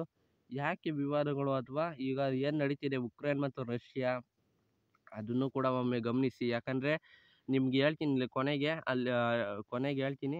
ಅದನ್ನು ಪೂರ್ತಿಯಾಗಿ ನೋಡಿ, ಅವಾಗ ನಿಮಗೆ ತಿಳಿಯುತ್ತೆ ಯಾಕೆ ಆ ಪ್ರಶ್ನೆ ಕೇಳ್ತಾರೆ ಅನ್ನೋದು ನಿಮಗೆ ಗೊತ್ತಾಗುತ್ತೆ. ಇನ್ನು ನಾವು ಮುಂದುವರೆದು ಪ್ರಶ್ನೆ ನೋಡೋದಾದ್ರೆ ಅಂದರೆ ಇವಾಗ ನಾವು ಗಮನಿಸ್ತಾ ಇರೋ ಪ್ರಶ್ನೆಗಳು ಬಂದ್ಬಿಟ್ಟು ಭಾಗ ನಾಲ್ಕಾಗಿರುತ್ತೆ ಅಂದರೆ ಇಲ್ಲಿ ನಮಗೆ ಹತ್ತು ಅಂಕ ದೊರೆಯುವಂಥದ್ದು. ಪ್ರತಿಯೊಂದು ಪ್ರಶ್ನೆಗಳಿಗೂ ಕೂಡ ಹತ್ತು ಅಂಕ ದೊರೆಯುವಂಥದ್ದು. ಆ ಪ್ರಶ್ನೆಗಳು ಯಾವ ರೀತಿ ಇದ್ದಾವೆ ಅಂತ ಹೇಳ್ಬಿಟ್ಟು ಗಮನಿಸೋದಾದ್ರೆ, ಕೆಳಗಿನ ಯಾವುದಾದರೂ ಎರಡು ಪ್ರಶ್ನೆಗಳಿಗೆ ಪ್ರತಿಯೊಂದಕ್ಕೂ ಮೂವತ್ತರಿಂದ ನಲವತ್ತು ವಾಕ್ಯಗಳಲ್ಲಿ ಉತ್ತರಿಸಿ. ಎರಡು ಇಂಟು ಹತ್ತು ಇಸ್ ಈಕ್ವಲ್ಸ್ ಟು ಅಥವಾ ಈಕ್ವಲ್ ಟು ಇಪ್ಪತ್ತು. ಅಲ್ಲಿಗೆ ಪ್ರತಿಯೊಂದು ಪ್ರಶ್ನೆಗೂ ಹತ್ತು ಅಂಕ ದೊರೆಯುವಂಥದ್ದು, ಇಲ್ಲಿ ನಾಲ್ಕು ಪ್ರಶ್ನೆಗಳು ನಿಮಗೆ ಕೊಟ್ಟಿರುವಂಥದ್ದು, ನಾಲ್ಕರಲ್ಲಿ ಯಾವುದಾದ್ರೂ ಎರಡಕ್ಕೆ ಉತ್ತರಿಸಬೇಕಾಗಿರುವಂಥದ್ದು. ಆದರೆ, ಎರಡು ಸಾವಿರದ ಇಪ್ಪತ್ತೆರಡನೇ ಸಾಲಿನ ವಿದ್ಯಾರ್ಥಿಗಳಿಗೆ ಅನ್ವಯಿಸುವಂಥದ್ದು, ಆರು ಪ್ರಶ್ನೆಗಳು ಕೊಟ್ಟಿರ್ತಾರೆ. ಆರರಲ್ಲಿ ಯಾವುದಾದರೂ ಎರಡಕ್ಕೆ ಉತ್ತರಿಸಬೇಕಾಗುತ್ತೆ. ನಾವು ಪ್ರತಿಯೊಬ್ಬರು ಕೂಡ ಗಮನಿಸಬೇಕಾಗುತ್ತೆ.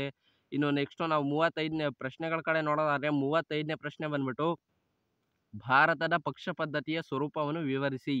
ರಿಪೀಟೆಡ್ ಮೋಸ್ಟ್ ರಿಪೀಟೆಡ್ ಕ್ವಶನ್ ಅಂತ ಈಗಾಗಲೇ ನಾವು ಎಲ್ಲ ಮಾದರಿ ಪ್ರಶ್ನೆ ಪತ್ರಿಕೆಯಲ್ಲಿ ನೀವು ಗಮನಿಸಿದ್ರೆ ಇದು ಇರುವಂಥದ್ದು ನೀವು ನಿಮಗೆ ತಿಳಿದಿರುವಂಥದ್ದು ಮೋಸ್ಟ್ ರಿಪೀಟೆಡ್ ಕ್ವಶನ್ ಎಂಬುದು ಒಮ್ಮೆ ಸಂಪೂರ್ಣವಾಗಿ ಅದ್ರ ಬಗ್ಗೆ ಒಂದು ಸ್ವಲ್ಪ ತಿಳ್ಕೊಳ್ಳಿ ಅಥವಾ ಈಗಿನಿಂದನೇ ಪ್ರಾಕ್ಟೀಸ್ ಮಾಡಿ ಅದ್ರ ಪಾಯಿಂಟ್ಸ್ ವೈಸ್ ಟೆನ್ ಪಾಯಿಂಟ್ಸ್ ಇರ್ತವೆ, ಟೆನ್ ಪಾಯಿಂಟ್ಸ್ ಕೂಡ ಪ್ರಾಕ್ಟೀಸ್ ಮಾಡಬೇಕಾಗುತ್ತೆ, ಮಾಡಿ ಅದು ಮೋಸ್ಟ್ ರಿಪೀಟೆಡ್ ಕ್ವಶನ್ ಆಗಿದೆ. ಇನ್ನು ನೆಕ್ಸ್ಟ್ ನಾವು ಮೂವತ್ತಾರನೇ ಪ್ರಶ್ನೆ ನೋಡೋದಾದ್ರೆ ಅನಕ್ಷರತೆ ಪ್ರಜಾಪ್ರಭುತ್ವಕ್ಕೆ ಒಂದು ಅಡ್ಡಿ ಹೇಗೆ?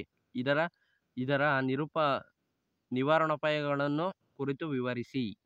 ಓಕೆನಾ? ಅನಕ್ಷರತೆ, ಆಗಲೇ ಕೇಳಿದ್ರು ನಿಮಗೆ ಅನಕ್ಷರತೆ ಎಂದರೇನು ಅಂತ ಹೇಳ್ಬಿಟ್ಟು ನಾನು ಈಗಾಗಲೇ, ನಿಮ್ಗೆ ಆಗಲೇ ಹೇಳಿದೆ. ಏನು ಮೊದಲೇ ಪ್ರ ಮೊದಲನೇ ಮೇನಲ್ಲಿ ಕೊನೆ ಪ್ರಶ್ನೆ ಪ್ರಶ್ನೆ ಕೇಳಿದ್ರು, ನೀವು ಗಮನಿಸಿದ್ರೆ ಪೂರ್ತಿಯಾಗಿ ನಿಮ್ಗೆ ಇಲ್ಲಿ ತಿಳಿದಿರುತ್ತೆ. ಏನು, ಅಲ್ಲಿ ಕೇಳಿದ್ರಲ್ಲ, ಅನಕ್ಷರತೆಗೆ ಸಂಬಂಧಪಟ್ಟಂತೆ ಇಲ್ಲಿ ಕೊಟ್ಟಿದ್ದಾರೆ, ನೀವು ನೋಡಿ, ಆಗಲೇ ಹೇಳಿದ ರೀತಿ. ಇಲ್ಲಿ ನೀವು ವಿಸ್ತರಿಸಿ ಸಂಪೂರ್ಣವಾಗಿ ಬರಿಬೇಕಾಗುತ್ತೆ. ನೀವು ಲೆಸನ್ಗೆ ಸಂಬಂಧಪಟ್ಟಿದ್ದೇ ಬರಿಬೇಕು ಅಂತ ಅಲ್ಲ, ನಿಮ್ಮ ಒಟ್ಟಿನಲ್ಲಿ ಅದಕ್ಕೆ ಪಾಯಿಂಟ್ಸ್ ಇರಬೇಕು. ಸಮಾಜದಲ್ಲಿ ಅದು ಪ್ರಸ್ತುತ ಅದು ನಡೀತಾ ಇರಬೇಕು. ಅದು ಪ್ರಜಾಪ್ರಭುತ್ವಕ್ಕೆ ಇವಾಗ ನೋಡ್ತಾ ಇದ್ದೀರಾ, ಅನಕ್ಷರತೆಗೆ ಪ್ರಜಾಪ್ರಭುತ್ವಕ್ಕೆ, ಅನಕ್ಷರತೆ ಪ್ರಜಾಪ್ರಭುತ್ವಕ್ಕೆ ಒಂದು ಅಡ್ಡಿ. ಹೇಗೆ? ಇವರ, ಇದರ ನಿರೂಪ, ನಿವಾರಣೋಪಾಯಗಳನ್ನು ಕುರಿತು ವಿವರಿಸಿ. ಅದು ಅಡ್ಡಿ ಹೇಗೆ ಆಗಿದೆ ಎಂಬುದು ನಿಮ್ಮ ಮಾತುಗಳಲ್ಲಾದರೂ ವಿಸ್ತರಿಸ್ಬೋದು ಅಥವಾ ನಿಮ್ಮ ಲೆಸನ್ನಲ್ಲೂ ಕೂಡ ಇರುವಂಥದ್ದು ಅದರಲ್ಲೂ ವಿಸ್ತರಿಸ್ಬೋದು. ಅದಕ್ಕೆ ಸಂಬಂಧಪಟ್ಟಂತೆ ನಾವು ಯಾವ ರೀತಿ ಕ್ರಮವನ್ನು ಕೈಗೊಳ್ಬೋದು, ಅನಕ್ಷರತೆಯನ್ನು ತೋ ಹೋಗಲಾಡಿಸಲು ಅಥವಾ ತೊಲಗಿಸಲು ಅನಕ್ಷರತೆ ಎಂಬುದೇ ಇರಬಾರ್ದು ದೇಶದಲ್ಲಿ ಅಂತ ಹೇಳಿದ್ರೆ, ಯಾವ ರೀತಿ ನಾವು ಅದಕ್ಕೆ ಸಂಬಂಧಪಟ್ಟಂತೆ ಕ್ರಮಗಳನ್ನು ಕೈಗೊಳ್ಬೋದು ಅಂತ ಹೇಳ್ಬಿಟ್ಟು ಕೇಳಿರುವಂಥದ್ದು ಓಕೆ, ಇನ್ನು ನೆಕ್ಸ್ಟ್ ನಾವು ಮೂವತ್ತೇಳನೇ ಪ್ರಶ್ನೆ ನೋಡೋದಾದ್ರೆ, ಜಾಗತೀಕರಣದ ಅರ್ಥ, ಪ್ರಾಮುಖ್ಯತೆ ಮತ್ತು ರಾಜಕೀಯ ಪರಿಣಾಮಗಳನ್ನು ವಿವರಿಸಿ. ಜಾಗತೀಕರಣ, ನಿಮಗೆ ಪ್ರಪಂಚದಲ್ಲಿ ಅದು ಕೇಳಿರುವಂಥದ್ದು, ಜಾಗತೀಕರಣ ಅಂದರೆ ವಿಶ್ವಕ್ಕೆ ಸಂಬಂಧಪಟ್ಟಿರೋದಾಗಿರುತ್ತೆ. ಇನ್ನು ನೆಕ್ಸ್ಟು ನಾವು ಮೂವತ್ತೆಂಟನೇ ಪ್ರಶ್ನೆಗೆ ಹೋಗೋದಾದ್ರೆ, ಭಾರತದ ವಿದೇಶಾಂಗ ನೀತಿಯ ಮೂಲ ತತ್ವಗಳನ್ನು ವಿವರಿಸಿ. ವಿದೇಶಾಂಗ ನೀತಿ, ಇವಾಗ ಪ್ರಸ್ತುತ ಭಾರತದ ವಿದೇಶಾಂಗ ಸಚಿವರಾಗಿ ಯಾರಾಗಿದ್ದಾರೆ ಎಂಬುದು ಪ್ರತಿಯೊಬ್ಬರು ವಿಡಿಯೋ ನೋಡ್ತಿರೋರು ಕೊನೆಗೆ ಕಮೆಂಟ್ ಮಾಡಿ ಓಕೆನಾ ಯಾರಾಗಿದ್ದಾರೆ? ಭಾರತದ ವಿದೇಶಾಂಗ ನೀತಿ, ಭಾರತದ ವಿದೇಶಾಂಗ ಸಚಿವರು ಪ್ರಸ್ತುತ ಯಾರಾಗಿದ್ದಾರೆ ಎಂಬುದು ಕಮೆಂಟ್ ಮಾಡಿ. ಇಲ್ಲಿ ಅದನ್ನೇ ಕೂಡ, ಅದು ಕೂಡ ನೀವು ಮೆನ್ಷನ್ ಮಾಡ್ಬೋದು ಫೈವ್ ಮಾರ್ಕ್ಸ್ನಲ್ಲಿ ಯಾಡ್ ಮಾಡ್ಕೊಂಡು ಪ್ರಸ್ತುತ ಭಾರತದ ವಿದೇಶಾಂಗ ನೀತಿಯ ಪಿತಾ ಭಾರತದ ವಿದೇಶಾಂಗ ನೀತಿಯ ಸಚಿವರು ಇವರು, ಇಂಥವರಾಗಿದ್ದಾರೆ ಎಂಬುದು ಕೂಡ ನಾವು ಮೆನ್ಷನ್ ಮಾಡ್ಬೋದಾಗಿದೆ. ಅದರಿಂದ ಅದು ಪ್ರತಿಯೊಬ್ಬರು ತಿಳ್ಕೊಳ್ಳಿ ಅಂತ ಹೇಳ್ತಾ, ಇನ್ನು ನೆಕ್ಸ್ಟ್ ಮೇನ್ಗೆ ನಾವು ಹೋಗೋದಾದ್ರೆ ಅಂದರೆ ಇಲ್ಲಿ ಇದು ಲಾಸ್ಟ್ ಭಾಗ ಆಗಿರುವಂಥದ್ದು ನಿಮಗೆ ನಾನು ಆಗಲೇ ನಿಮಗೆ ಹೇಳ್ದೆ. ಅದು ಇಲ್ಲಿ ನಾನು ಈಗ ಹೇಳ್ತೀನಿ ಅಂತ ಹೇಳ್ತಾ. ಇಲ್ಲಿ ಲಾಸ್ಟ್ ಭಾಗ ನೋಡೋದಾದರೆ ಐದನೇ ಭಾಗ, ಕೊನೆ ಭಾಗ ಆಗಿರುತ್ತೆ ನಿಮಗೆ. ಇಲ್ಲಿ ನೋಡ್ತಾ ಇದ್ದೀರಾ, ಕೆಳಗಿನ ಪ್ರಶ್ನೆಗಳಿಗೆ ಪ್ರತಿಯೊಂದಕ್ಕೂ ಹದಿನೈದರಿಂದ ಇಪ್ಪತ್ತು ವಾಕ್ಯಗಳಲ್ಲಿ ಉತ್ತರಿಸಿ. ಅಂದರೆ ಐದು ಅಂಕ, ಪ್ರತಿಯೊಂದು ಪ್ರಶ್ನೆಗೆ ಐದು ಅಂಕ. ಇಲ್ಲಿ ಎರಡು ಪ್ರಶ್ನೆಗಳು ಕೊಟ್ಟಿದ್ದಾರೆ. ಇಲ್ಲಿ ಎರಡು ಪ್ರಶ್ನೆಗಳಲ್ಲಿ ಯಾವುದಾದರೂ ನೀವು ಒಂದಕ್ಕೆ ಉತ್ತರಿಸಬೇಕು. ಆದರೆ ನೀವು ಕನ್ಫ್ಯೂಸ್ ಮಾಡ್ಕೊಳೋ ಚಾನ್ಸಸ್ ಎಲ್ಲಿರುತ್ತೆ ಅಂತ ಹೇಳಿದ್ರೆ ಆದರೆ ಇವಾಗ ಫಾರ್ ಎಕ್ಸಾಂಪಲ್ಗೆ ಮೂವತ್ತೊಂಬತ್ತನೇ ಪ್ರಶ್ನೆ ಯಾವುದಿದೆಯಪ್ಪ ನಿಮಗೆ? ಮೂವತ್ತೊಂಬತ್ತನೇ ಪ್ರಶ್ನೆಯಲ್ಲಿ ಎ ಅಂತ ಕೊಟ್ಟಿದ್ದಾರೆ. ಭಾರತದ ಯಾವುದಾದರೂ ಒಬ್ಬ ಪ್ರಧಾನಮಂತ್ರಿಯ ಜೀವನ ಮತ್ತು ಸಾಧನೆಗಳ ಕುರಿತು ಬರೆಯಿ, ಟಿಪ್ಪಣಿ ಬರೆಯಿರಿ. ಭಾರತದಲ್ಲಿ ಒಬ್ಬರು ಅಲ್ಲ ಇಬ್ಬರು ಅಲ್ಲ, ಸುಮಾರು ಪ್ರಧಾನಿಗಳಾಗಿದ್ದಾರೆ. ಅದು ನಿಮಗೆ ಗೊತ್ತಿರುವ, ಗೊತ್ತಿರೋ ವಿಷಯ. ಯಾರಾದರೂ ಒಬ್ಬ ಪ್ರಧಾನಿಯನ್ನು ಕುರಿತು ಬರೆಯಿರಿ ಅಂತ ಕೇಳಿರೋದೆ. ಇನ್ನು ನೆಕ್ಸ್ಟ್ ಅಥವಾ ಮುಖ್ಯ ಕಾರ್ಯದರ್ಶಿಯ ಕರ್ತವ್ಯದ ಬಗ್ಗೆ ಟಿಪ್ಪಣಿ ಬರೆಯಿರಿ ಅಂತ ಕೇಳಿದ್ದಾರೆ. ಭಾರತದ ಯಾವುದಾದ್ರೂ ಒಬ್ಬ ಪ್ರಧಾನಿ, ಅದು ನಿಮ್ಮ ಲೆಸನ್ನಲ್ಲಿಲ್ಲ ಅದು ಓನಾಗಿ ಅದು ಕೇಳಿರುವಂಥದ್ದು, ಅದು ನೀವು ಪ್ರತಿಯೊಂದು ಪ್ರಶ್ನೆ ಪತ್ರಿಕೆಯಲ್ಲಿ ಗಮನಿಸಿರುವಂಥದ್ದು, ಅದನ್ನು ನೀವು ಬರಿತೀರಾ? ಮತ್ತು ಮುಖ್ಯ ಕಾರ್ಯದರ್ಶಿಯ ಕರ್ತವ್ಯದ ಬಗ್ಗೆ ಟಿಪ್ಪಣಿ ಬರೆಯಿರಿ ಅಂತ ಕೇಳಿದ್ದಾರೆ. ಅದು ಕೂಡ ನಿಮಗೆ ಉತ್ತರ ಗೊತ್ತುಬಿಟ್ಟಿದೆ. ನೀವು ಪೂರ್ಣ ಅದಕ್ಕೆ ನೀವು ಅದಕ್ಕೆ ಪ್ರಿಪೇರ್ ಆಗಿಬಿಟ್ಟಿದ್ದೀರಾ ಮುಖ್ಯ ಕಾರ್ಯದರ್ಶಿಗೆ ಅಂತ ಹೇಳ್ಬಿಟ್ಟು ನೀವು. ಮೊದಲನೇದು ಮೂವತ್ತೊಂಬತ್ತನೇ ಪ್ರಶ್ನೆಯಲ್ಲಿ ಎ ಅಂತ ಇದೆಯಲ್ಲ ಅದಕ್ಕೆ ನೀವು ಉತ್ತರ ಬರೆದ್ಬಿಟ್ಟಿದ್ದೀರಾ? ಬಿಗೂ ಉತ್ತರ ಬರೆದ್ಬಿಟ್ಟಿದ್ದೀರಾ? ಈ ಮೇಯ್ನಲ್ಲಿ ನಿಮಗೆ ಹತ್ತು ಅಂಕ ದೊರೀತಾ ಹತ್ತು ಅಂಕ ಇರುವಂಥದ್ದು, ಅದರಲ್ಲಿ ನಿಮಗೆ ಐದು ಅಂಕ ದೊರೆಯುವಂಥದ್ದು. ಯಾಕೆ ಅಂತ ಕೇಳಿದ್ರೆ, ಮೂವತ್ತೊಂಬತ್ತನೇ ಪ್ರಶ್ನೆಯಲ್ಲಿ ಎ ಅಥವಾ ಬಿ ಅಂತ ಕೊಟ್ಟಿದ್ದಾರಲ್ಲ, ಅವೆರಡರಲ್ಲಿ ನೀವು ಒಂದನ್ನು ಚಾಯ್ಸ್ ಮಾಡಬೇಕು. ನಲವತ್ತನೇ ಪ್ರಶ್ನೆಯಲ್ಲಿ ಎ ಅಥವಾ ಬಿ ಅಂತ ಕೊಟ್ಟಿದ್ದಾರಲ್ಲ, ಅವೆರಡರಲ್ಲಿ ಒಂದನ್ನು ಚಾಯ್ಸ್ ಮಾಡಬೇಕು. ಈಗ ನಿಮಗೆ ಅರ್ಥ ಆಗಿದೆ ಅನ್ಕೊತೀನಿ. ಅರ್ಥ ಆಗಿಲ್ಲ ಅಂದರೆ ದಯವಿಟ್ಟು ತಪ್ಪರೆ, ಕಮೆಂಟ್ ಮಾಡಿ. ಅದಕ್ಕೆ ಪಕ್ಕ ಗ್ಯಾರಂಟಿ ಉತ್ತರಿಸ್ತೀನಿ ಅಥವಾ ಉತ್ತರಿಸಲು ಪ್ರಯತ್ನ ಪಡ್ತೀನಿ. ಈಗ ನಿಮಗೆ ಸಿಂಪಲಾಗಿ ಅರ್ಥ ಆಗಿದೆ ಅಂತ ಅಂದ್ಕೊಂಡಿದ್ದೀನಿ ಇನ್ನು ನಾವು ಪ್ರಶ್ನೆಗಳ ಕಡೆ ಒಂದು ಸ್ವಲ್ಪ ಗಮನಿಸೋದಾದ್ರೆ ನೋಡ್ತಾ ಇದ್ದೀರಾ? ಪ್ರಶ್ನೆಗಳು ಬಂದ್ಬಿಟ್ಟು ಈ ರೀತಿಯಾಗಿವೆ. ಮೂವತ್ತೊಂಬತ್ತನೇ ಪ್ರಶ್ನೆಯಲ್ಲಿ ಎ ಅಂತ ಕೊಟ್ಟಿದ್ದಾರೆ, ಬಿ ಅಂತ ಕೊಟ್ಟಿದ್ದಾರೆ ಅಥವಾ ಒಂದೊಂದು ಒಂದೊಂದು ಬಾರಿ ಕೊಟ್ಟಿರಲ್ಲ. ಓಕೆನಾ? ಎ ಅಥವಾ ಬಿ ಅನ್ನೋದು ಕೊಟ್ಟಿರಲ್ಲ. ಅದರಿಂದ ಏನು ಮಾಡ್ತೀರಾ ಅಂಥ ಸಮಯದಲ್ಲಿ ಅಂದರೆ ಪ್ರಶ್ನೆಗಳನ್ನೇ ಬರೆದ್ಬಿಡಿ. ಇಮೇಲ್ನಲ್ಲಿ ಮಾತ್ರ ನೀವು ಯಾವುದೇ ಕಾರಣಕ್ಕೂ ಮಿಸ್ ಮಿಸ್ ಮಾಡ್ಕೊಬೇಡಿ ಪ್ರಶ್ನೆಗಳು ಬರೆದ್ಬಿಡಿ, ಇನ್ನೇನು ಪ್ರಶ್ನೆಗಳು ಬರೆಯೋದಕ್ಕೆ ಏನು ಜಾಸ್ತಿ ಹೊತ್ತು ನಮ್ಗೆ ಟೈಮ್ ತೊಗೊಳಲ್ಲ. ಪ್ರಶ್ನೆಗಳು ಬರೆದ್ಬಿಟ್ಟು ಉತ್ತರವನ್ನು ಉತ್ತರಿಸ್ಬಿಡಿ. ಯಾಕಂದರೆ ಸ್ವಲ್ಪ ಕನ್ಫ್ಯೂಸ್ ಆಗೋ ಚಾನ್ಸಸ್ ಈ ಮೇಯ್ನಲ್ಲಿ ಇದೆ. ಅದರಿಂದ ಪ್ರತಿಯೊಬ್ಬರು ಕೂಡ ನಿಮ್ಗೆ ಯಾವುದು ಪ್ರಶ್ನೆಗೆ ಉತ್ತರ ನೀವು ಬರೆಯೋದಕ್ಕೆ ಇದ್ದೀರಾ, ಬರಿತೀರಾ, ಆ ಪ್ರಶ್ನೆಯನ್ನು ಬರೆದ್ಬಿಟ್ಟು ನಂತರ ಉತ್ತರಿಸೋದಕ್ಕೆ ಪ್ರಯತ್ನ ಪಡಿ. ಓಕೆ, ಇನ್ನು ನಾವು ಪ್ರಶ್ನೆಗಳು ನೋಡೋದಾದ್ರೆ, ಎ ಕೊಟ್ಟಿದ್ದಾರೆ. ಭಾರತದ ಯಾವುದಾದರೂ ಒಬ್ಬ ಪ್ರಧಾನಮಂತ್ರಿಯ ಜೀವನ ಮತ್ತು ಸಾಧನೆಗಳ ಕುರಿತು ಟಿಪ್ಪಣಿ ಬರೆಯಿರಿ. ಅವರು ಜನ್ಮ ದಿನಾಂಕ, ಜನ್ಮಸ್ಥಳ ಮತ್ತು ತಂದೆ, ತಾಯಿ ಮತ್ತು ಅವರು ಓದಿದ್ದು ವ್ಯಾಸಂಗ, ವಿದ್ಯಾಭ್ಯಾಸ ಮತ್ತು ಅವ್ರು ಓದಿರೋದು ಏನು ಅಂತ ಹೇಳ್ಬಿಟ್ಟು ಮತ್ತು ಅವರು ಇತ್ತಿತರ ಮತ್ತಿತರ ಈ ಥರ ಯಾವುದು ಲೋಕಸಭಾದಾಗ ಗೆದ್ದಿದ್ರು ವಿಧಾನಸಭಾದಾಗ ಗೆದ್ದಿದ್ರು ಮತ್ತು ಪ್ರಸ್ತುತ ಯಾವ ರಾಜ್ಯದಲ್ಲಿ ಮುಖ್ಯಮಂತ್ರಿ ಆಗಿದ್ರು, ನಂತರ ಪ್ರಧಾನಿ ಆಗಿದ್ದಾರೆ ಅವ್ರ ಕಾರ್ಯಗಳೇನು, ಅವ್ರು ಬಂದಮೇಲೆ ಅವ್ರ ಮ ಜನಗಳು ಕಲ್ಯಾಣಕ್ಕಾಗಿ ಕೈಗೊಂಡ ಕ್ರಮಗಳೇನು ಅಂತ ಹೇಳ್ಬಿಟ್ಟು ನೀವು ಸಂಪೂರ್ಣವಾಗಿ ಉತ್ತರಿಸ್ಬೇಕಾಗುತ್ತೆ. ನಿಮ್ಗೆ ಇನ್ನೊಂದು ಹೇಳೋದಾದ್ರೆ, ಎಲ್ಲರೂ ಕೂಡ ಮೋಸ್ಟ್ ಆಫ್ ಆಲ್ ಸಬ್ಸ್ಕ್ರೈಬ್ ಆಗಿದ್ದೀರಾ? ಆ ಚಾನಲ್ಗೆ ಸಬ್ಸ್ಕ್ರೈಬ್ ಆಗಿಲ್ಲ ಅಂದರೆ ಪಿ ಎಸ್ ಸ್ಟಡೀಸ್ ಅಂತ ಹೇಳ್ಬಿಟ್ಟು ಪಾಪೇಗೌಡ ಸರ್ ಅವ್ರದ್ದು ಒಂದು ಯೂಟ್ಯೂಬ್ ಚಾನಲ್ ಇದೆ. ಅವ್ರ ಯೂಟ್ಯೂಬ್ ಚಾನಲ್ಗೆ ಸಬ್ಸ್ಕ್ರೈಬ್ ಆಗಿ, ಅವರು ಯೂಟ್ಯೂಬ್ ಚಾನಲಿಂದ ನೀವು ಹುಡ್ಕೋದು ಆದರೆ ಪ್ಲೇಲಿಸ್ಟ್ನಲ್ಲಿ ಪ್ರಧಾನಮಂತ್ರಿಗೆ ಸಂಬಂಧಪಟ್ಟಿರೋದು. ಈ ಈ ಮೇನಲ್ಲಿ ಯಾವ್ಯಾವ ಪ್ರಶ್ನೆಗಳು ನಿಮ್ಮ ಕಾಲೇಜಿನಲ್ಲಿ ಗಣರಾಜ್ಯೋತ್ಸವ ಅಂತ ಹೇಳ್ಬಿಟ್ಟು ಕೊಟ್ಟಿದ್ದಾರೆ. ಆ ರೀತಿ ಯಾವುದೇ ಪ್ರಶ್ನೆಗಳಿದ್ರು ಈ ಮೇನಲ್ಲಿ ನಿಮಗೆ ಸಂಪೂರ್ಣವಾಗಿ ಅಲ್ಲಿ ತಿಳಿಸಿರುವಂಥದ್ದು. ಅದನ್ನು ನಾವು ಕೂಡ ಮುಂದೆ ತಿಳಿಸ್ತೀವಿ. ಅದರಿಂದ ಪ್ರತಿಯೊಬ್ಬರು ಕೂಡ ಅವ್ರ ಚಾನಲ್ನು ಕೂಡ ಅವರು ಸಬ್ಸ್ಕ್ರೈಬ್ ಆಗಿಲ್ಲ ಅಂದ್ರೆ ಸಬ್ಸ್ಕ್ರೈಬ್ ಆಗಿ ಅಲ್ಲಿ ನೀವು ಪ್ಲೇಲಿಸ್ಟ್ಗೆ ಹೋಗಿ ಕೂಡ ಗಮನಿಸ್ಬೋದು. ಎಲ್ಲ ಪ್ರಧಾನಿಗಳದ್ದು ಇದೆ. ಉದಾಹರಣೆಗೆ ನಮ್ಮ ಕರ್ನಾಟಕದ ಹೆಮ್ಮೆಯ ಪ್ರಧಾನಮಂತ್ರಿ ಆಗಿರುವಂತಹ, ಆಗಿದ್ದ ಹಾಲಿ ಹಾಲಿ ಅಲ್ಲ ಸಾರಿ ಮಾಜಿ ಪ್ರಧಾನಿಯಾಗಿರುವಂಥ ದೇವೇಗೌಡರು ಅವ್ರ ಬಗ್ಗೆ ಕೂಡ ನಾವು ಬರೀಬರಾಗಿದೆ. ನಮ್ಮ ಕರ್ನಾಟಕಕ್ಕೆ ಸಂಬಂಧಪಟ್ಟಿರೋರಾಗಿದ್ದಾರಲ್ಲ ಏಕೈಕ ಪ್ರಧಾನಿ ಅಂತ ಅನಿಸ್ಕೊಂಡಿದ್ದಾರಲ್ಲ, ಅವ್ರ ಬಗ್ಗೆ ಕೂಡ ನಾವು ಸುಲಭವಾಗಿ ಬರಿಬೋದು. ಯಾಕಂದರೆ ನಮ್ಮ ಕರ್ನಾಟಕದಲ್ಲಿ ತುಂಬಾ ಅವಾಗ ಕೈಗೊಂಡಿದ್ದಾರೆ ಕ್ರಮಗಳು ಅಂತ ನಮ್ಮ ಕರ್ನಾಟಕದ ಕಲ್ಯಾಣಕ್ಕಾಗಿ ಸುಮಾರು ಕೆಲಸಗಳನ್ನು ಅಥವಾ ಕಾರ್ಯಗಳನ್ನು ಮಾಡಿದ್ದಾರೆ. ಅವ್ರದ್ದು ಕೂಡ ನಾವು ಬರಿಬೋದು. ಅದೇ ರೀತಿ ತುಂಬಾ ಪ್ರಧಾನಗಳಿ ಪ್ರಧಾನಮಂತ್ರಿಗಳಿದ್ದಾರೆ ಅದರಲ್ಲಿ ನಮಗೆ ಯಾವ್ದು ನಮಗೆ ತುಂಬಾ ನಮ್ಗೆ ಗೊತ್ತಿದೆ ಅವ್ರ ಬಗ್ಗೆ ಅಂತ ಹೇಳ್ಬಿಟ್ಟು ಅವ್ರ ಅವ್ರ ಬಗ್ಗೆ ನೀವು ಬರಿಬೇಕಾಗುತ್ತೆ. ಓಕೆ, ಇನ್ನು ನೆಕ್ಸ್ಟು ಅಥವಾ ಅಂತ ಕೊಟ್ಟಿದ್ದಾರೆ. ಬಿನಲ್ಲಿ ಮುಖ್ಯ ಕಾರ್ಯದರ್ಶಿಯ ಕರ್ತವ್ಯದ ಬಗ್ಗೆ ಟಿಪ್ಪಣಿ ಬರೆಯಿರಿ. ಮುಖ್ಯ ಕಾರ್ಯದರ್ಶಿ, ಓಕೆನಾ? ಮುಖ್ಯ ಕಾರ್ಯದರ್ಶಿಯ ಕರ್ತವ್ಯ, ಇದು ನಿಮ್ಮ ಲೆಸನ್ಗೆ ಸಂಬಂಧಪಟ್ಟಿರೋ ಪ್ರಶ್ನೆ ಒಂದು ಕೇಳಿದ್ದಾರೆ ಒಂದು ಜನರಲ್ ಆಗಿ ಕೇಳಿದ್ದಾರೆ ಅದನ್ನು ಬರಿಬೇಕಾಗುತ್ತೆ. ಇನ್ನು ನೆಕ್ಸ್ಟು ನಾವು ನಲವತ್ತನೇ ಪ್ರಶ್ನೆಗೆ ಹೋಗೋರಾದ್ರೆ ಏನಲ್ಲಿ ನಿಮ್ಮ ಕಾಲೇಜಿನಲ್ಲಿ ಆಚರಿಸಿದ ಗಣರಾಜ್ಯೋತ್ಸವ ದಿನಾಚರಣೆಯ ಬಗ್ಗೆ ಟಿಪ್ಪಣಿ ಬರೆಯಿರಿ. ಓಕೆನಾ? ಯಾವ ರೀತಿ ಆಚರಿಸಿದ್ರು ಯಾವಾಗ ಅವರು ತೋರಣ ತಳಿರು ಅವು ಇವು ಶೃಂಗಾರಿಸಿದರು ಮತ್ತು ಇನ್ನು ನೆಕ್ಸ್ಟು ಯಾವ ರೀತಿ ಸಾಂಸ್ಕೃತಿಕ ಕಾರ್ಯಕ್ರಮಗಳು ಹಾಗೂ ಯಾವ ರೀತಿ ಪ್ರೈಸ್ ಅಥವಾ ಗಣರಾಜ್ಯೋತ್ಸವದ ಬಗ್ಗೆ ಏನು ಹೇಳಿದ್ರು ಮತ್ತು ನಮ್ಮ ಸಂವಿಧಾನ ಯಾವಾಗ ಅಸ್ತಿತ್ವಕ್ಕೆ ಬಂತು ಪ್ರತಿಯೊಂದನ್ನು ಕೂಡ ನಾವು ಬರಿಬೇಕಾಗುತ್ತೆ. ಪಾಯಿಂಟ್ ವೈಸ್ ಬರೆಯೋಣ, ಬರೆಯೋದ್ರಲ್ಲಿ ಉತ್ತಮ ಅತ್ಯುತ್ತಮ ಅಂತ ಹೇಳ್ಬೋದು. ಅದರಿಂದ ಇನ್ನು ನೆಕ್ಸ್ಟು ಅಥವಾ ಅಂತ ಕೊಟ್ಟಿದ್ದಾರಲ್ಲ, ನಾವು ಬಿನಲ್ಲಿ ನೋಡೋದಾದ್ರೆ ಬ್ರಿಕ್ಸ್ ಅಂದರೆ B R I C S ಅಂತ ಇದೆಯಲ್ಲ, ಉಗಮ ಮತ್ತು ಬೆಳವಣಿಗೆ ಕುರಿತು ವಿವರಿಸಿ. ಮೊದಲನೇದು ನಲವತ್ತನೇ ಪ್ರಶ್ನೆಯಲ್ಲಿ ಎ ಅಂತ ಕೊಟ್ಟಿರೋದು, ಅದು ನಿಮ್ಮ ಕ ಜನರಲ್ ಆಗಿ ಕೇಳಿರುವಂಥದ್ದು, ಬ್ರಿಕ್ಸ್ನ ಉಗಮ ಮತ್ತು ಬೆಳವಣಿಗೆ ಕುರಿತು ಬರೆಯಿರಿ ಅನ್ನೋ, ವಿವರಿಸಿ ಅನ್ನೋದು ನಿಮ್ಮ ಟೆಕ್ಸ್ಟ್ ಬುಕ್ಕಿಗೆ ಸಂಬಂಧಪಟ್ಟಂತೆ ಕೊಟ್ಟಿರುವಂಥದ್ದು, ಓಕೆನಾ? ಇನ್ನು ನಾನು ಇದಕ್ಕೆ ಇವಾಗ ಎರಡು ಸಾವಿರದ ಇಪ್ಪತ್ತೆರಡನೇ ಸಾಲಿನ ವಿದ್ಯಾರ್ಥಿಗಳಿಗೆ ಏನು ಚೇಂಜ್ ಮಾಡಿದ್ದಾರೆ ಅಂತ ಹೇಳೋದಾದ್ರೆ, ಮೂವತ್ತೊಂಬತ್ತನೇ ಪ್ರಶ್ನೆಯಲ್ಲಿ ಎ ಅಥವಾ ಬಿ ಅಥವಾ ಸಿ ಅನ್ನೋದನ್ನ ಆ್ಯಡ್ ಮಾಡಿದ್ದಾರೆ. ಇಲ್ಲಿ ಎಕ್ಸ್ಟ್ರಾ ಸಿ ಅನ್ನೋದನ್ನ ಆ್ಯಡ್ ಮಾಡಿದ್ದಾರೆ. ಅದನ್ನ ಪ್ರತಿಯೊಬ್ಬರು ಕೂಡ ಗಮನಿಸಬೇಕಾಗುತ್ತೆ. ಇಮೇಲ್ನಲ್ಲಿ ಏನು ಚೇಂಜ್ ಆಗಿದೆ ಅಂತ ನೀವು ಕೇಳೋದಕ್ಕಿಂತ ಮುಂಚೆ ನಾನೇ ಉತ್ತರಿಸ್ಬಿಟ್ಟಿದ್ದೀನಿ. ನಾನೇ ಅಥವಾ ಹೇಳ್ಬಿಟ್ಟಿದ್ದೀನಿ. ಇನ್ನು ನಲವತ್ತನೇ ಪ್ರಶ್ನೆಯಲ್ಲಿ ಎ ಅಥವಾ ಬಿ ಅಥವಾ ಸಿ ಅನ್ನೋದು ಕೂಡ ಈ ಮೇ ಇದರಲ್ಲೂ ಕೂಡ ಆ್ಯಡ್ ಆಗಿದೆ. ಇವೆರಡರಲ್ಲೂ ಕೂಡ ಸಿ ಸಿ ಅನ್ನೋದು ಎಕ್ಸ್ಟ್ರಾ ಪ್ರ ಕ್ವಶನ್ ಅಥವಾ ಹೆಚ್ಚುವರಿ ಪ್ರಶ್ನೆ ನಿಮಗೆ ಯಾರ್ಡ್ ಅಥವಾ ಹೆಚ್ಚುವರಿ ಪ್ರಶ್ನೆ ನಿಗದಿಯಾಗಿರುವಂಥದ್ದು. ಓಕೆನಾ ಇದು ನಿಮಗೆ ಡಿಫ್ರೆನ್ಸ್ ಇರುವಂಥದ್ದು. ಎರಡು ಸಾವಿರದ ಇಪ್ಪತ್ತೆರಡನೇ ಸಾಲಿನ ವಿದ್ಯಾರ್ಥಿಗಳ ಎಕ್ಸಾಮ್ನಲ್ಲಿ ಆನ್ಯುವಲ್ ಎಕ್ಸಾಮ್ ಅಥವಾ ಫೈ ವಾರ್ಷಿಕ ಪರೀಕ್ಷೆಯಲ್ಲಿ.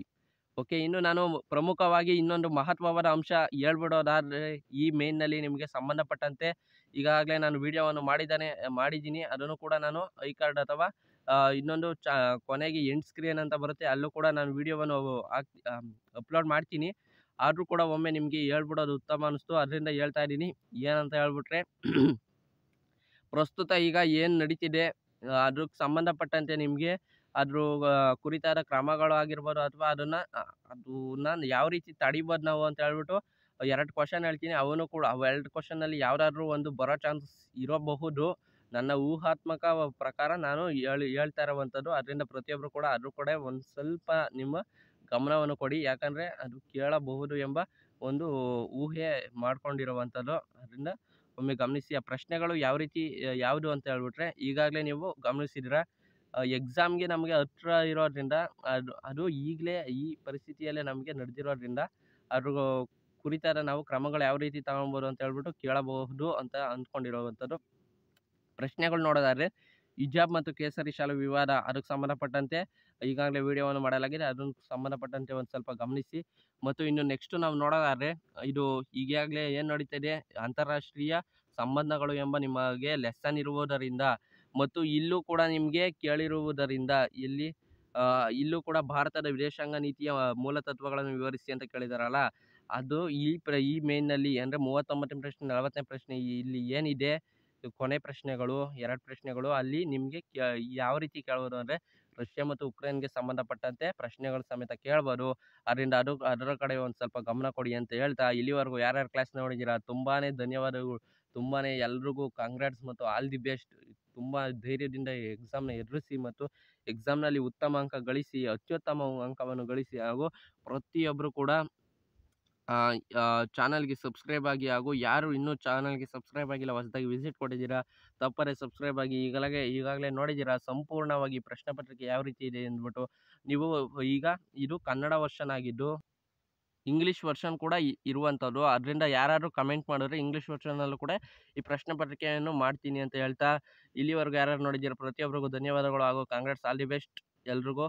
ಮತ್ತು ಎಕ್ಸಾಮ್ನ ಚೆನ್ನಾಗಿ ಎದುರಿಸಿ ಮತ್ತು ಯಾ, ಇನ್ನು ನಮ್ಮ, ನಿಮ್ಮ ಸ್ನೇಹಿತರಿಗೆ ಯಾರಿಗಾದ್ರು ಶೇರ್ ಮಾಡಿಲ್ಲ ಅಂದರೆ ತಪ್ಪದೇ ಚಾನಲನ್ನು ಶೇರ್ ಮಾಡಿ ಚಾನಲ್ ಲಿಂಕನ್ನು ನಿಮಗೆ ಹಾಗೂ ಪ್ರ ಸಬ್ಸ್ಕ್ರೈಬ್ ಆಗಿಸಿ ಹಾಗೂ ನಿಮ್ಗೆ ಏನಾನ ಈ ವಿಡಿಯೋ ಇಷ್ಟ ಆಗಿತ್ತಂದರೆ ಇಲ್ಲಿವರೆಗೂ ಕೇಳಿದ್ದೀರಾ? ಏನು ಅನ್ನಿಸ್ತು ಈ ವಿಡಿಯೋ ಬಗ್ಗೆ ಅಂತ ಹೇಳ್ಬಿಟ್ಟು ಪ್ರತಿಯೊಬ್ಬರು ಕೂಡ ನಿಮ್ಮ ಅನಿಸಿಕೆ ಅಥವಾ ಅಭಿಪ್ರಾಯವನ್ನು ಕಮೆಂಟ್ ಮಾಡಿ ತಪ್ಪದೆ ಹಾಗೂ ನೀವು ಏನಾನಪ್ಪ ನಿಮಗೆ ಡೌಟ್ಸ್ ಇದ್ದಲ್ಲಿ ಈ ಪ್ರಶ್ನೆ ಪತ್ರಿಕೆಯಲ್ಲಿ ನೀವು ನನಗೆ ಕಮೆಂಟ್ ಮಾಡಿ ನಾನು ಅದಕ್ಕೆ ಉತ್ತರಿಸ್ತೀನಿ ಅಂತ ಹೇಳ್ತಾ, ಅದಕ್ಕೆ ಸಂಬಂಧಪಟ್ಟಂತೆ ಡೌಟ್ಸ್ ಕ್ಲಿಯರ್ ಮಾಡ್ತೀನಿ ಅಂತ ಹೇಳ್ತಾ ಈ ವಿಡಿಯೋವನ್ನು ಮುಗಿಸ್ತಾ ಇದ್ದೀನಿ.